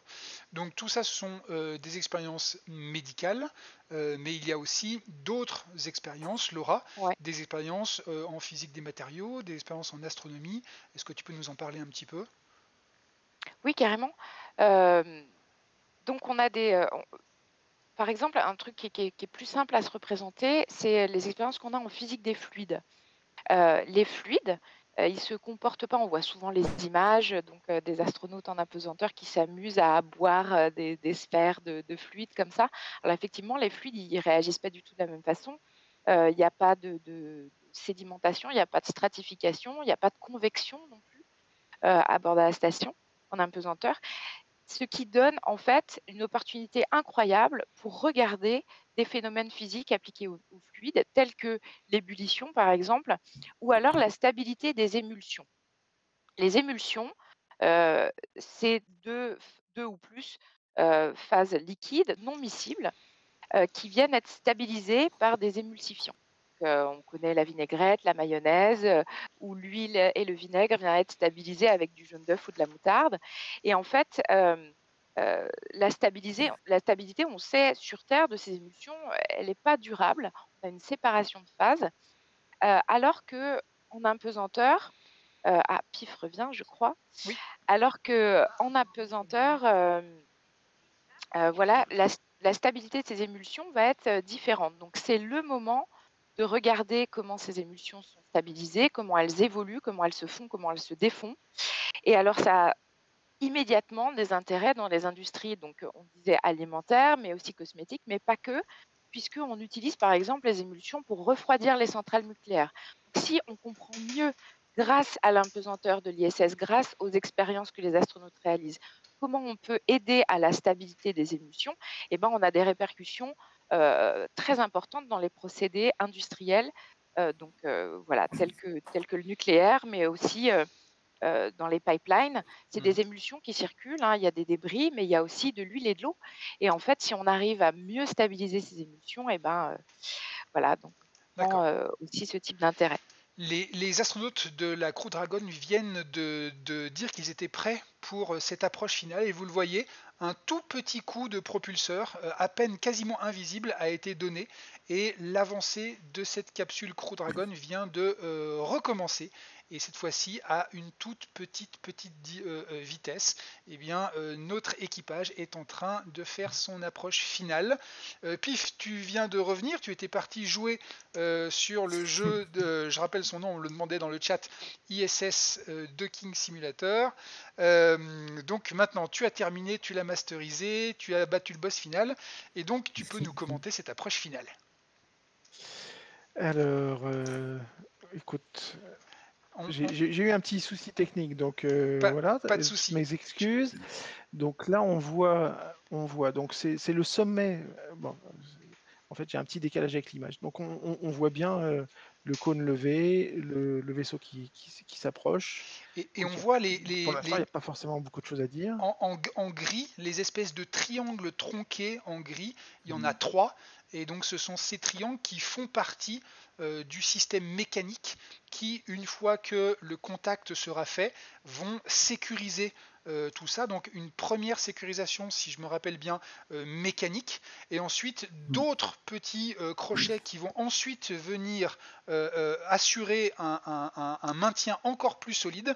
Et puis après, eh bien, cette phase d'attente pour égaliser les pressions d'air, pour vérifier qu'il n'y a pas de fuite. Et ça, ça peut durer des heures et des heures. C'est un système d'arrimage qui a été mis au point il y a très longtemps, puisque c'est le système qui vient de APAS, qui a été fait pour le vol Apollo-Soyuz en 1975. Et rappelez-vous qu'il y a eu ce docking entre un vaisseau russe et un vaisseau américain en 1975, à l'époque de la guerre froide. Et pour éviter que nous fassions un port de docking mâle et un port de docking femelle, ce qui aurait été la risée des pays euh, mâle ou femelle par rapport aux journalistes. Donc on a fait ce, docking port qui est ni mâle ni femelle, et c'est pour ça qu'on voit ces petites euh, avancées qui sont en triangle. Il y a les mêmes de l'autre côté, de façon à ce que le port s'emboîte l'un dans l'autre. Il y a ni mâle ni femelle. C'est vraiment un truc historique qui vient euh, d'Apollo Soyuz. D'accord. Donc l'égalité des genres est, voilà. depuis très longtemps. C'est un port d'arrimage inclusif, comme un on dit. port d'arrimage inclusif. Eh bien, écoute, on aura, une news absolument exclusive aujourd'hui. Regardez-moi ces dernières secondes, cette approche fantastique. Avec l'ombre. Avec, l'ombre du bras, sur l'ISS, nous sommes au-dessus de la Terre, à 400 km d'altitude, à une vitesse de 28 000 km/h autour de la Terre. Et nous avons cette toute dernière image, ces derniers dizaines de centimètres. Tout se fait avec une douceur et une précision extraordinaire alors que nous sommes dans l'un des milieux les plus hostiles qu'on puisse trouver à une vitesse défiant l'imagination. C'est absolument dingue.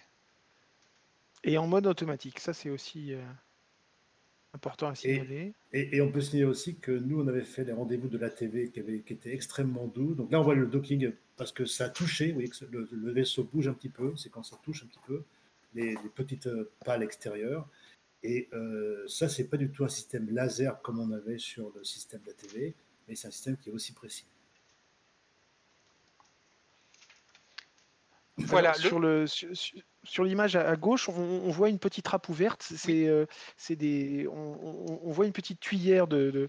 Euh, c'est un petit moteur en fait qui permet de, repositionner le, vaisseau et, le vaisseau. Alors j'ai pas le nombre en tête de, de de, rétro, de petites fusées comme ça qui, qui, le recouvrent, mais il y en a un petit peu partout, ce qui lui permet de, changer de position et de, ce sont les moteurs Draco, je crois. C'est les moteurs Draco.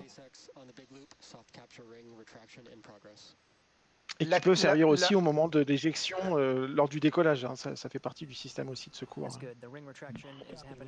Nous avons la confirmation que l'amarrage est réussi. Mm. Les premiers éléments mécaniques oui, avec de l'avance. Voilà, sont maintenant euh, emboîtés. Tous les éléments métalliques, euh, mécaniques ne sont pas encore emboîtés, ça c'est juste les premiers qui viennent d'arriver. Ensuite, cette, euh, cet amarrage et de solidité va être renforcé par une série d'autres pinces qui vont petit à petit serrer vraiment fermement cette, cette, cette position et vraiment assurer un, un lien extrêmement fort entre cette capsule dans laquelle, je vous rappelle, se trouve Thomas Pesquet, mais aussi les trois autres astronautes. Euh, nous avons Shane Kimbrough qui est commandant de bord, euh, Megan MacArthur qui est pilote, et Aki, Akihito Oshide qui lui est mission spécialiste comme Thomas Pesquet. C'est absolument fantastique. Regardez cette image. La Terre est un petit peu surexposée. elle brille, elle brille très très fort. Donc ça, c'est en fait les, réglages des caméras, hein, évidemment. Et, on voit toujours cette couche d'atmosphère qui est infiniment fine. Qui est, ouais, qui est, très très fine effectivement par rapport à la taille de la Terre. Euh, quelqu'un nous, nous, parlait encore tout à l'heure de la Lune. Hein. On va rappeler comme hier que euh, Thomas Pesquet ne va pas sur la Lune, que l'ISS est est beaucoup plus près de la Terre que de la Lune. Hein. On tourne autour de la Terre à 400 km. Euh, Michel le disait hier, si on avait un, globe comme ça, l'épaisseur ne ferait pas plus de quelques millimètres par rapport à un, globe de 30 cm. Donc l'atmosphère, c'est une couche extrêmement mince et l'ISS est juste au-dessus de cette couche. Donc on frôle la Terre. Euh, rien à voir avec la Lune. On espère que dans l'avenir, Thomas Pesquet pourra être sélectionné pour euh, ces voyages lunaires qui actuellement font partie du, travail de développement, puisque là c'est parti, on retourne vers la Lune. Il y a énormément de choses qui sont développées actuellement pour ça, mais pour l'instant il n'est absolument pas question de la Lune. Euh, il y a plusieurs questions qui viennent euh, à propos, quand, Michel parle de, la fine euh, couche atmosphérique, ça a suscité plusieurs questions dans, le, chat, notamment sur l'overview effect. Michel, est-ce que tu peux parler de ta double expérience d'avoir vu la Terre et les émotions que ça t'a procuré de voir, la Terre depuis, l'espace? Alors l'overview effect, il est surtout pour ceux qui ont été sur la Lune, qui eux sont les seuls à avoir vu la, la, la Terre en entier, comme une orange, si on peut dire. Alors que moi, j'ai vu la Terre de 400 km ce qui vous permet à 400 km de voir environ, euh, environ 2500 km de terre de, par, de, sur, un, sur un cercle qui est centré sur la station spatiale. Donc, c'est vrai que c'est quelque chose d'assez émouvant parce que d'abord, il y a la, fragilité de la Terre que l'on voit avec cette couche d'atmosphère. Comme vous voyez aujourd'hui, hein, c'est un petit liseré bleu qui est extrêmement fin. Mais il y a aussi euh, le fait que vous, regardez la Terre, vous regardez euh, les, parties différentes de la Terre, les, territoires différents, les continents différents, et chaque continent a une couleur particulière, un profil particulier. Je me souviens encore très très bien lorsqu'on arrive sur l'Europe et on passe sur la Méditerranée, on voit ce, contour qui est unique, le contour méditerranéen qui est vraiment très très joli, et le bleu de la Méditerranée qui est plus intense que le bleu de l'Atlantique, euh, les, le, les reflets du soleil qui sont sur la Méditerranée qui donnent une espèce de brillance particulière. Et quand vous passez sur un endroit différent de la Terre, vous avez toujours une vision qui est assez incroyable et c'est assez magique de voir une terre qui est aussi jolie. Un petit garçon m'a demandé euh, si je croyais en Dieu. J'avais dit, bah, écoutez, la terre est très belle, elle est euh, immensément, belle, elle est majestueusement belle, elle est religieusement belle. C'est-à-dire qu'il y a quand même une notion, euh, une notion assez forte qui est, tellement forte que on a du mal à rester insensible à la vue de la terre lorsqu'on est dans l'espace. Bien sûr, c'est vrai que c'est certainement l'une des vues les plus, euh, les, plus fantastiques euh, auxquelles, euh, auxquelles, on peut rêver. D'ailleurs, on rappelle qu'actuellement, il y a quelques tentatives aussi de ce qu'on appelle le tourisme spatial qui sont actuellement en train d'être développées et qui permettent pour l'instant à un prix absolument prohibitif mais qui sait peut-être de moins en moins euh, à l'avenir, de permettre à des personnes qui n'ont pas eu l'entraînement que Laura a donné à Thomas Pesquet de pouvoir, euh, de pouvoir envisager de voir la Terre depuis la limite de l'atmosphère. Alors, il va y avoir d'ailleurs, euh, avec, euh, grâce au, Crew Dragon, il va y avoir normalement au moins deux missions euh, touristiques cette année, probablement autant l'année prochaine. et ces deux missions, elles vont pas rejoindre, elles vont pas rejoindre la station. Elles vont aller sur des orbites jusqu'à deux ou trois fois plus haut, ce qui, pourrait même constituer un, record en dehors des missions Apollo.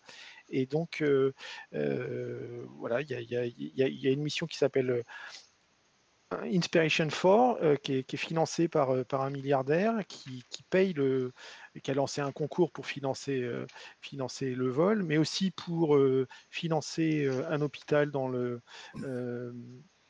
euh, je me rappelle plus de l'État américain, mais un, hôpital qui, qui, s'occupe des enfants euh, gravement malades, euh, par exemple atteints de, de, cancer.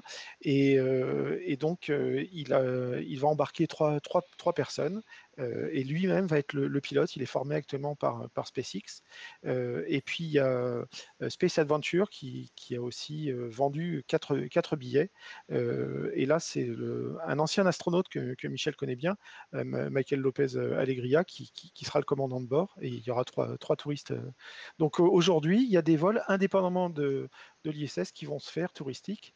Et puis, il y a aussi des vols euh, touristiques euh, qui vont se faire vers l'ISS, où là, il va y avoir des nouveaux modules privés euh, construits par la société américaine Texan Axiom. Et puis, il va même y avoir normalement Tom Cruise et un réalisateur qui devrait venir, en tout cas, c'était prévu, c'était annoncé, pour l'instant, ça a l'air reporté. Et en attendant, les Russes ont décidé qu'ils allaient faire voler de leur côté un réalisateur et une actrice qui est en cours de casting, ou, peut-être qui a été d'ailleurs qui, a peut-être commencé son, entraînement, peut-être que le casting est, terminé. Mais au mois d'octobre, il devrait y avoir un Soyuz touristique, pareil, piloté par un commandement russe professionnel qui embarquerait de, personnalités du, cinéma russe pour aller séjourner une semaine ou deux à bord de, à bord de, la station. Et peut-être que Thomas va, les accueillir, ce, sera là, peut-être qu'il fera un, caméo dans le film, comme il l'a fait sur, sur d'autres, d'autres, films tournés à, l'EAC. Alors, euh, justement, juste pour donner une petite idée, moi je sais, j'ai regardé mon, mon, portefeuille, là j'ai, 14 euros dans mon, dans mon portefeuille. Euh, il m'en manque combien pour, euh, pour soit voir la Terre d'en haut, soit monter dans la station spatiale? Alors, je crois que le, tarif chez SpaceX, c'est 55 millions de dollars le, séjour de, euh, de 3 jours. Euh, qu'à bord du Crew Dragon. Là, là, tu, montes à 2-3 fois la, hauteur de la station. Euh, pour, alors, sachant que la pièce d'amarrage est remplacée par une coupole d'observation. Donc il y, a une vue vraiment imprenable sur la Terre. Et il y a une mission d'ailleurs qui se prépare aussi. Il n'y a pas encore de date, mais où ça serait un japonais qui. Un, un, milliardaire aussi, qui emmènerait des artistes euh, pour, faire, pour faire une mission euh, euh, sur, sur un crew dragon. Enfin, il y a plein de projets, et à chaque fois, le ticket serait à peu près à, à 55. Et le séjour Soyuz, à l'aide du Soyuz d'une semaine sur la station, je crois que c'est 35 millions. D'accord. Bon, bah, écoute, je vais. Un peu moins cher. C'est un peu moins cher. Ouais, je vais mettre un peu de côté. Je vais plutôt viser le, Soyuz. Euh, Laura, je, reviens vers toi. Euh, on parlait tout à l'heure des expériences scientifiques que les astronautes allaient effectuer, euh, enfin, et Thomas aussi, hein, ces, six prochains mois dans, le, dans la station spatiale, à la fois sur lui-même, mais aussi sur d'autres expériences qui sont montées là-haut à l'intérieur de, de, la capsule. tout ça se fait, ce, cet entraînement se fait euh, chez toi, donc euh, se fait au centre d'entraînement des astronautes. Euh, ça, ce sont des entraînements de missions à l'intérieur de la station spatiale. Est-ce que on les entraîne aussi sur les missions à l'extérieur de la station spatiale, c'est-à-dire les sorties extravéhiculaires Oui, oui. Alors voilà, c'est aussi un on parle souvent, on voit souvent des images de, sorties extravéhiculaires et puis fatalement aussi de leur entraînement qui se fait dans une piscine mmh afin d'avoir une flottaison partielle. Fait, c'est l'environnement qui permet le mieux de pouvoir préparer les astronautes à l'utilisation de cette combinaison qui est quand même très, très volumineuse, encombrante et difficile à, manipuler et qui requiert aussi beaucoup, beaucoup d'entraînement. Donc oui, à l'EAC, à Cologne, on a une grande piscine dans laquelle on peut immerger des, répliques du module, notamment de Columbus et puis du, cône, du, nœud numéro 2, pardon. Et on prépare les, astronautes, en fait, on, les pré-entraîne à l'entraînement qu'ils vont avoir à la NASA.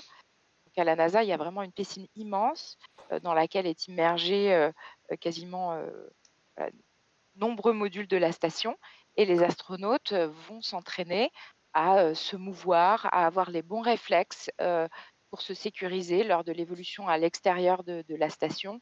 ce sont des, des, sorties qui sont très longues aussi, donc voilà, il faut les entraîner en piscine à, à bouger, à remplir voilà, la, mission, à faire ce qu'ils vont devoir aller faire. C'est souvent des activités de maintenance mmh ou de réparation et puis parfois un petit peu d'upgrade de, de, la station. D'accord. Comme, voilà. comme, par exemple changer des batteries, c'est-à-dire améliorer les, les, éléments technologiques pour, pour continuer à maintenir la station en, en ouais. Alors en fait, c'est comme, c'est comme une voiture. quand tu fais la révision des temps de kilomètres, en préventif, on mmh te demande de faire une révision et en préventif aussi, de changer des pièces avant qu'elles claquent. Donc c'est à peu près le même principe. Et puis après, on peut pimper un peu sa voiture ou l'upgrader comme on peut ajouter des nouvelles fonctionnalités techniques et technologiques à la station. Sur une voiture ici qui fait la taille d'un stade de football. Voilà. D'accord. Michel? Alors ah d'ailleurs, cet été, il va y avoir.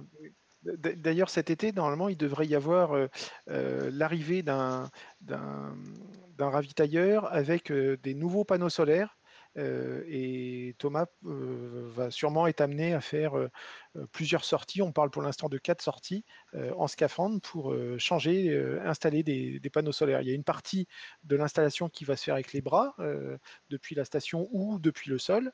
Les, bras sont aussi commandés. Il y, a, pas mal d'opérations qui sont faites par le sol. et puis, bah, à, la fin, il faut, il faut quand même aller, aller visser tout ça, rajouter des câbles. Donc ça, c'est l'intervention humaine qui est, qui est, nécessaire. Et donc, bah, les astronautes se sont préparés pour ça. Et Thomas pourrait faire jusqu'à quatre sorties. Il en a déjà fait deux hein, en, en, en 2017. D'accord. juste une petite remarque, on a vu, alors que, Laura et toi étiez en train de parler, que la Terre disparaissait dans l'obscurité, hein, puisque la station passait du côté sombre de la Terre. Je vous rappelle qu'à 28 000 km/h, on fait un tour du monde en 1h30. Donc on a en permanence chaque jour 45 minutes de jour et puis 45 minutes de nuit et ça recommence perpétuellement, éternellement. Donc c'est vrai que la transition jour-nuit se fait assez vite. Et là on l'a vu, ce qui était vraiment intéressant, c'est qu'on voyait que en dessous de la station, la Terre eh bien, euh, était dans la partie nocturne, mais la station en elle-même, eh bien, elle était, elle, encore éclairée par le soleil. Et c'était juste pour rappeler que c'est exactement ce moment qui est intéressant pour nous lorsque l'on veut observer la station spatiale dans le ciel. C'est pour ça qu'on regarde toujours ça, soit peu de temps après le coucher du soleil, soit peu de temps avant le lever du soleil, c'est-à-dire au moment où chez nous il fait encore nuit, mais où la station spatiale, elle, est encore et déjà allumée par le soleil. Et donc n'hésitez pas ces jours prochains, cette semaine prochaine, eh bien, à regarder le ciel. En ce moment, la station spatiale passe au-dessus de la France plutôt au petit matin. Certaines semaines, c'est le soir certaines semaines c'est au petit matin, parfois c'est pas du tout, ça dépend de l'orbite. Euh, là, les, jours qui viendront, ce sera toujours vers 5h30 du matin, euh, et donc on peut voir dans le ciel pendant quelques minutes, voir un immense point blanc très très lumineux passer au-dessus de nous. Et donc ça, c'est la station spatiale, et, euh, c'est toujours aussi un bah, un, événement, un moment très, très important parce qu'on se dit voilà, Thomas, il est là-haut, il est en train de tourner autour de la Terre et on peut le voir, on n'a pas besoin de télescope, pas besoin d'instruments. Euh, et, donc n'hésitez pas à le faire vous-même aussi.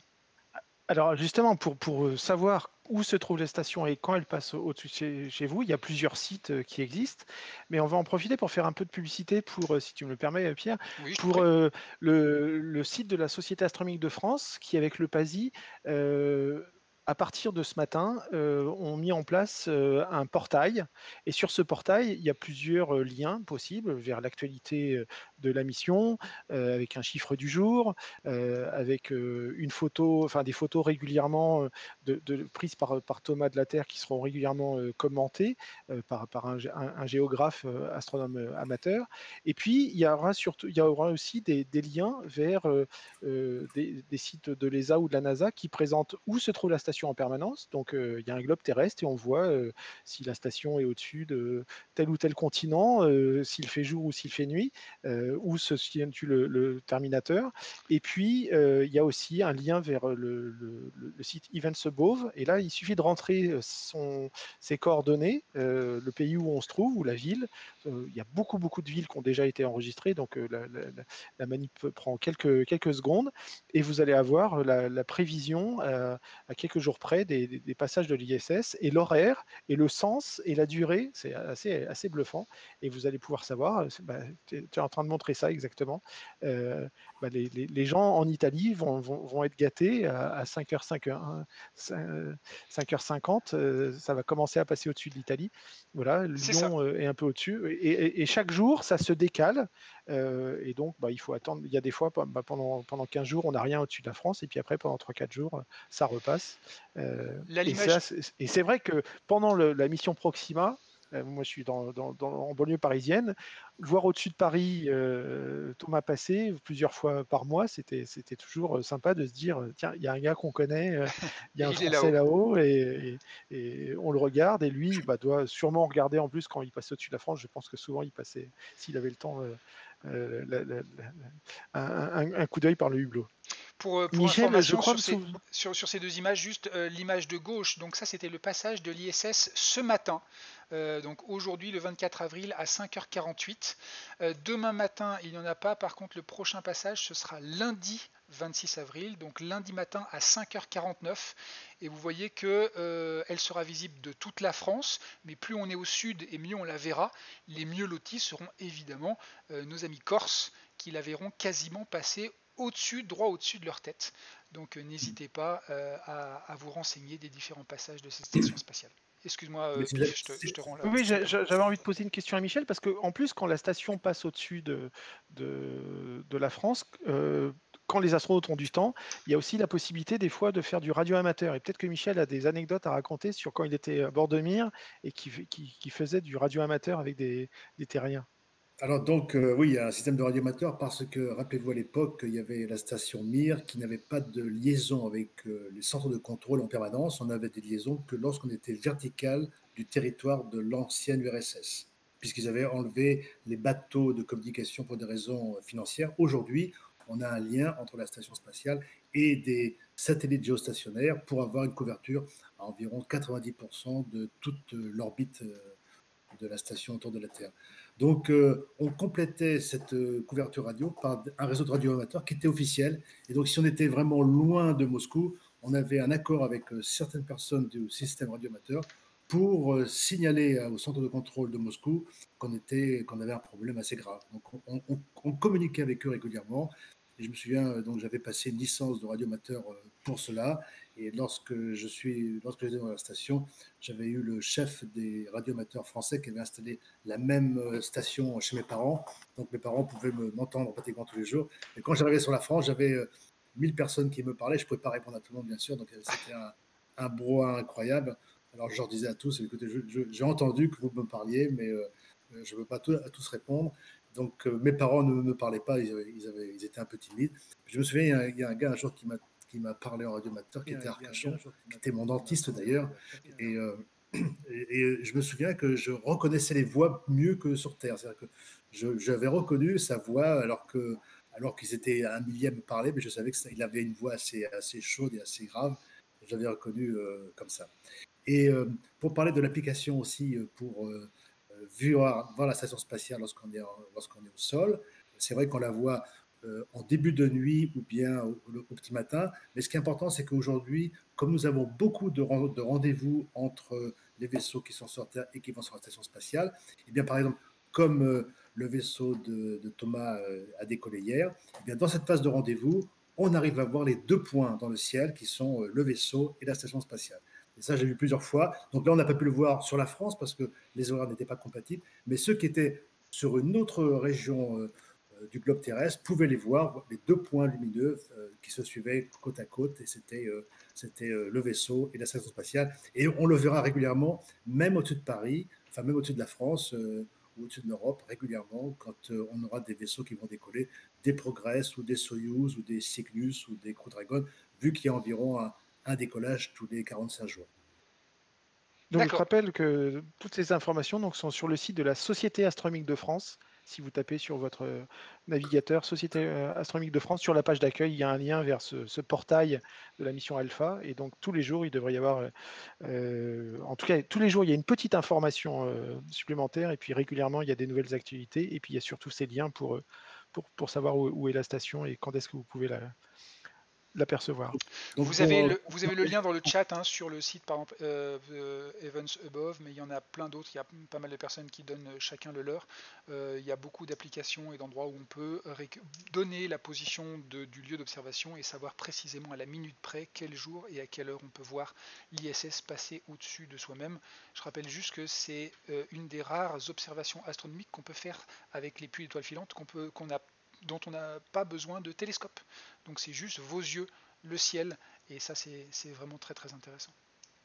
Pour revenir au système d'arrimage hein, que tu posais comme question, euh, Pif, il y a 12 crochets, hein, je ne sais pas si tu as reçu l'information, il y a 12 crochets qui permettent d'arrimer euh, euh, le vaisseau Crew à la station spatiale.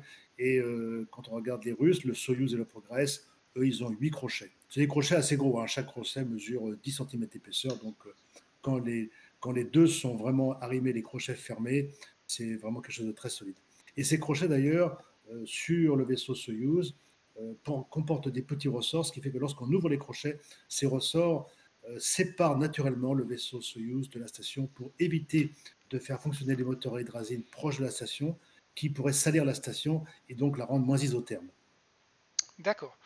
Euh, j'ai aussi une, vu une question passer dans le chat euh, où euh, plusieurs personnes ont vu que Thomas Pesquet n'aurait pas forcément le même rôle tout au long de sa mission.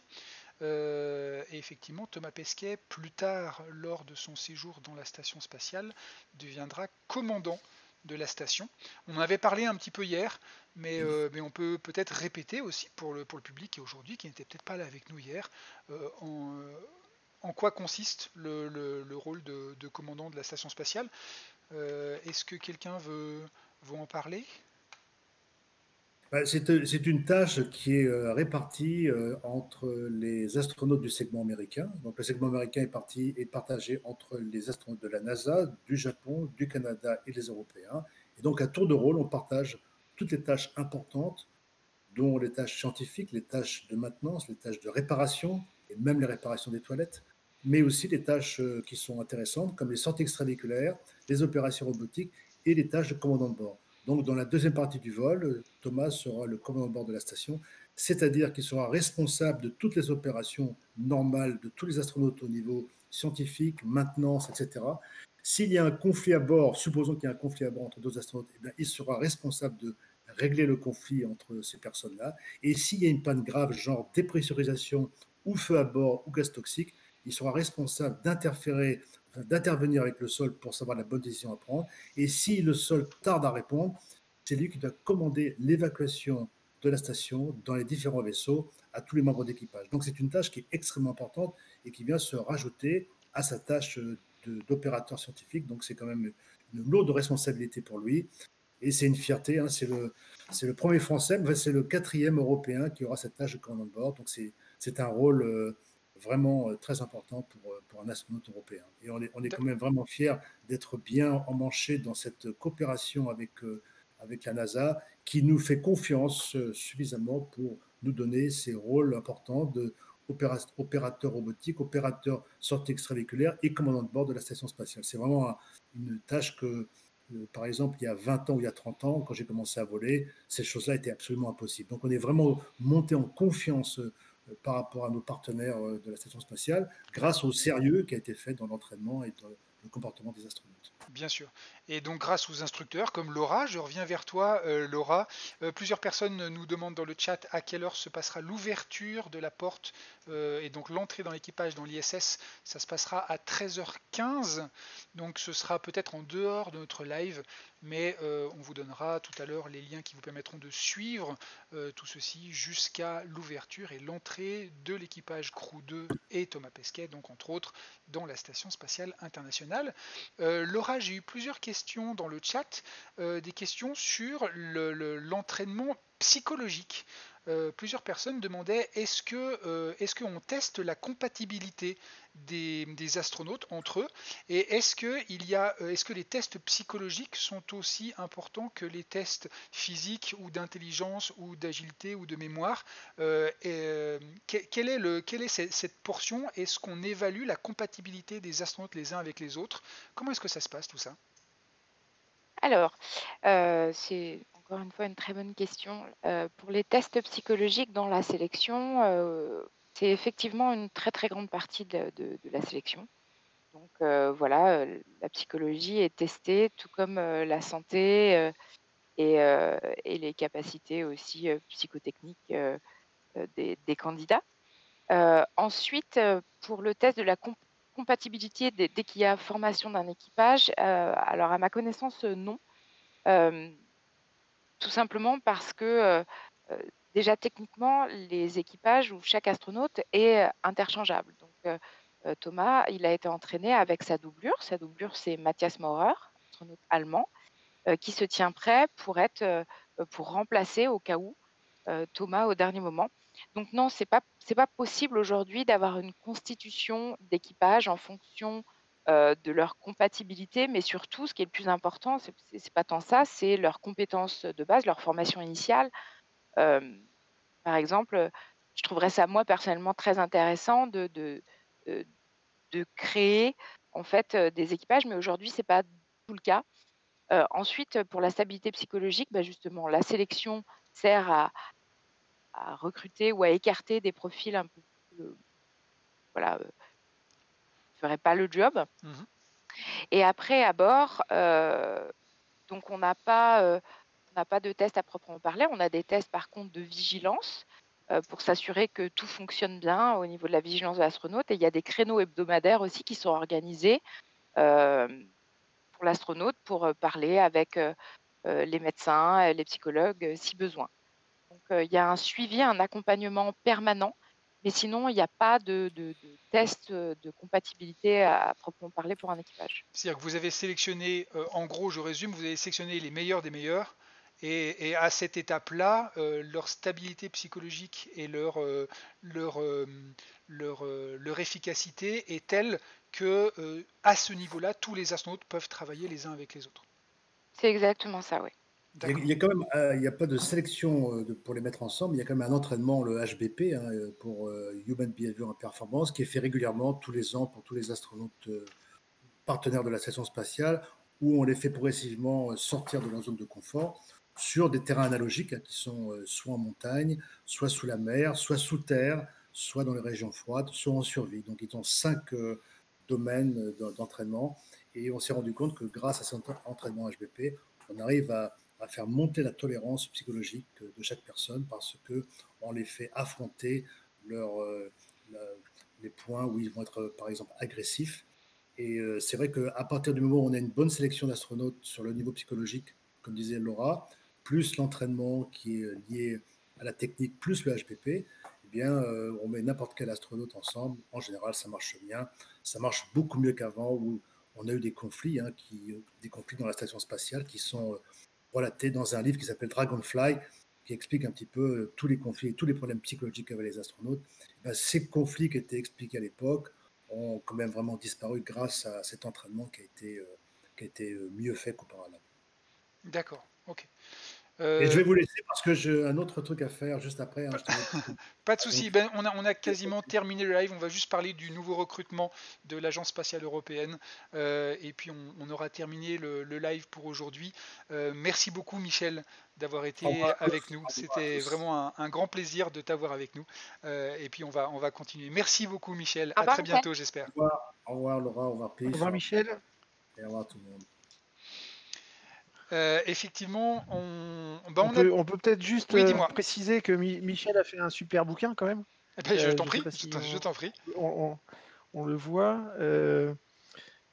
voilà, donc Michel a, publié il y a le mois dernier un petit livre de, souvenirs qui s'appelle Un café dans l'espace, avec plein, plein d'anecdotes sur ces, deux vols à bord de la station Mir, euh, à bord euh, de, la navette spatiale en 92 et 99, et puis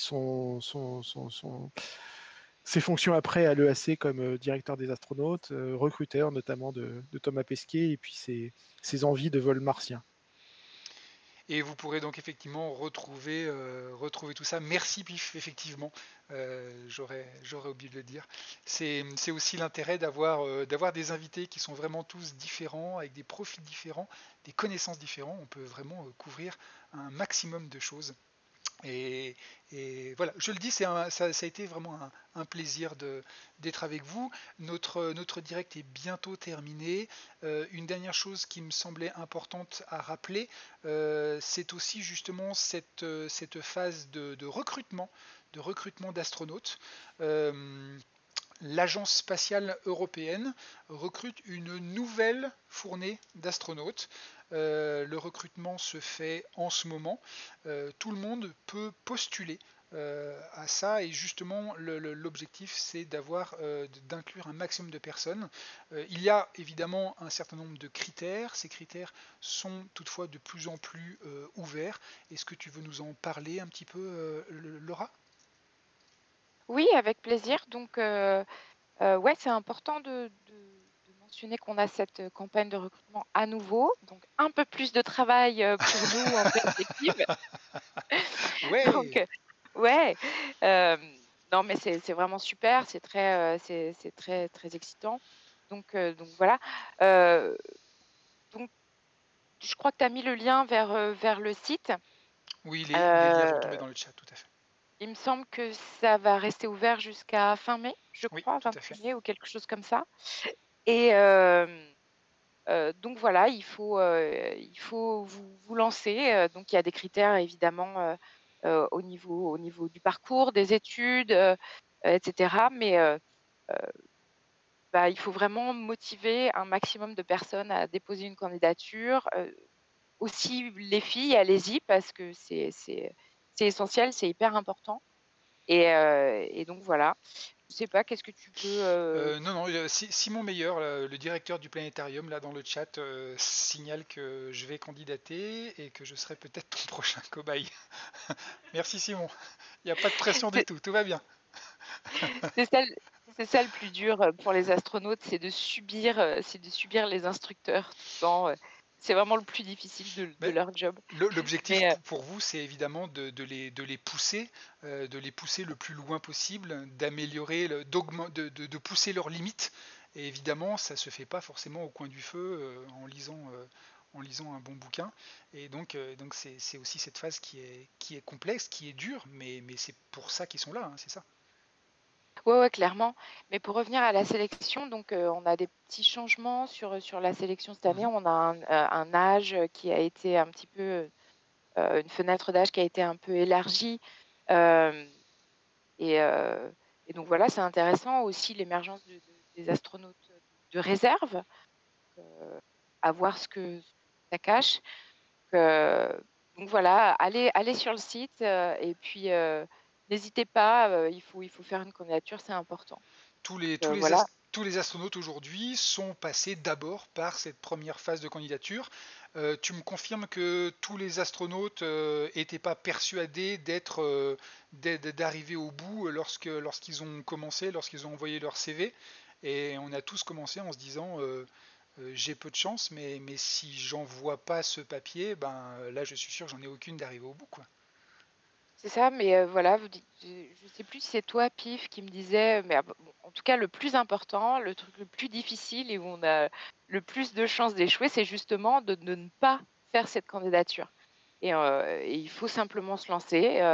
et évidemment, tous les astronautes, dont Thomas Pesquet, est passé par là. Il a fait son dossier sur son ordinateur. Et, bien sûr, c'est très difficile de se projeter. Hein, que la, la, sélection, elle est longue et on ne va pas sélectionner avant octobre 2022, ce qui me laisse un petit peu de temps pour, euh, mon, mon basic training.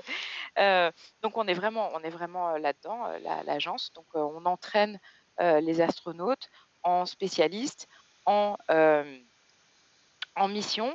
On va en, moi, c'est dans mon calendrier, je vais entraîner les touristes. Mmh. donc voilà, c'est dans les tuyaux et on commence à préparer les cours du basic training en parallèle de la sélection avance. Pas de, pas de sélection de, de sexe ou de genre, euh, hommes, femmes, euh, et tous sont euh, accueillis et bienvenus exactement de la même manière. Et je crois même cette année, une certaine catégorie de personnes handicapées physiquement ou avec, avec des, des, des, des, problèmes qui sont hors normes et qui rentrent aussi maintenant euh, dans, le, dans le programme d'entraînement des astronautes, je crois plutôt au niveau des membres inférieurs alors, euh, c'est surtout une étude de faisabilité du projet euh, pour, pour permettre justement à des, des, personnes en situation de handicap. Donc, il y a des critères.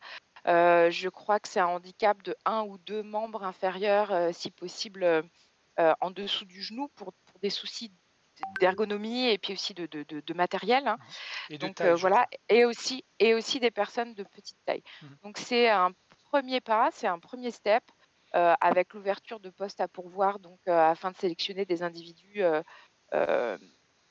en situation de handicap physique pour un poste d'astronaute de réserve. donc oui, c'est voilà, c'est un projet, c'est en cours de faisabilité, d'analyse de faisabilité, et puis aussi parce que c'est on a toujours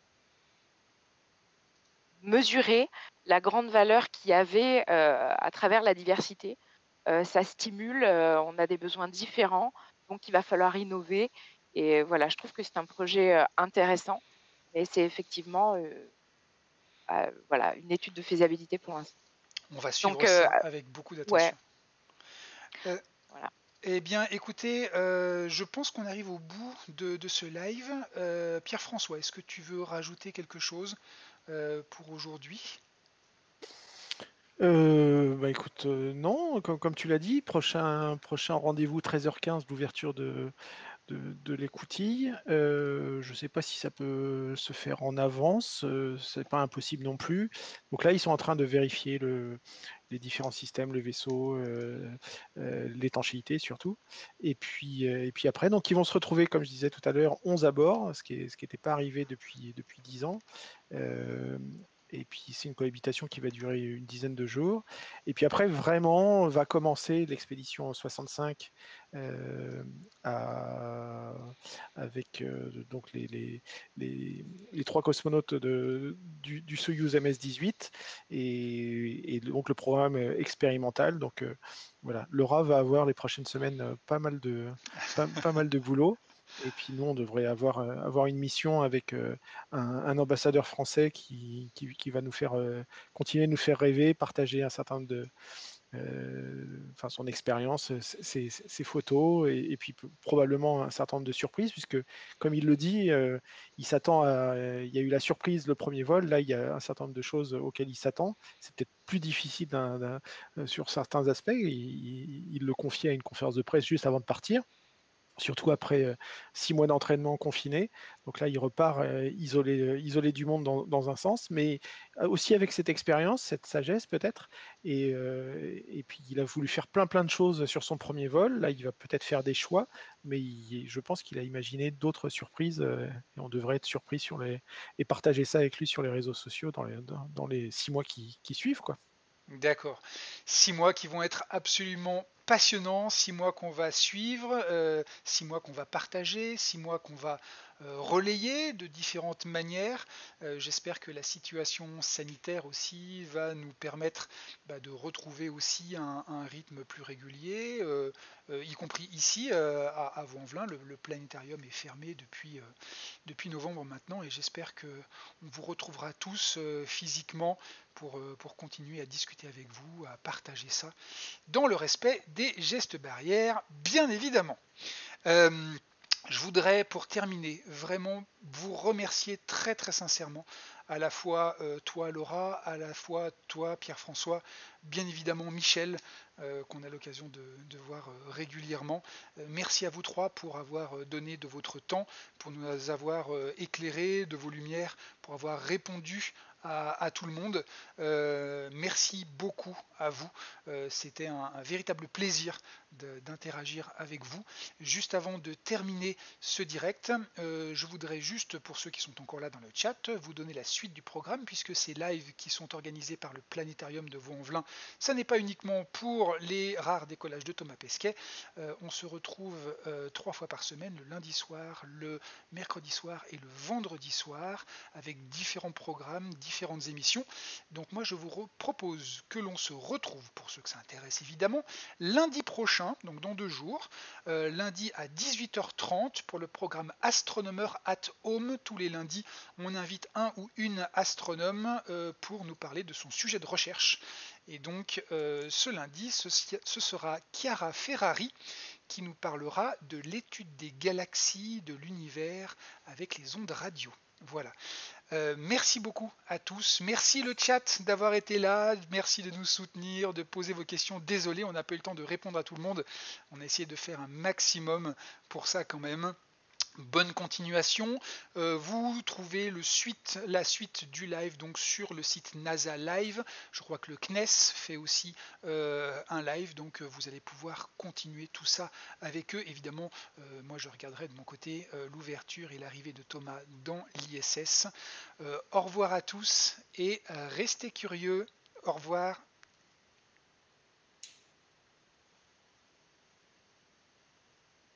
Bah, super.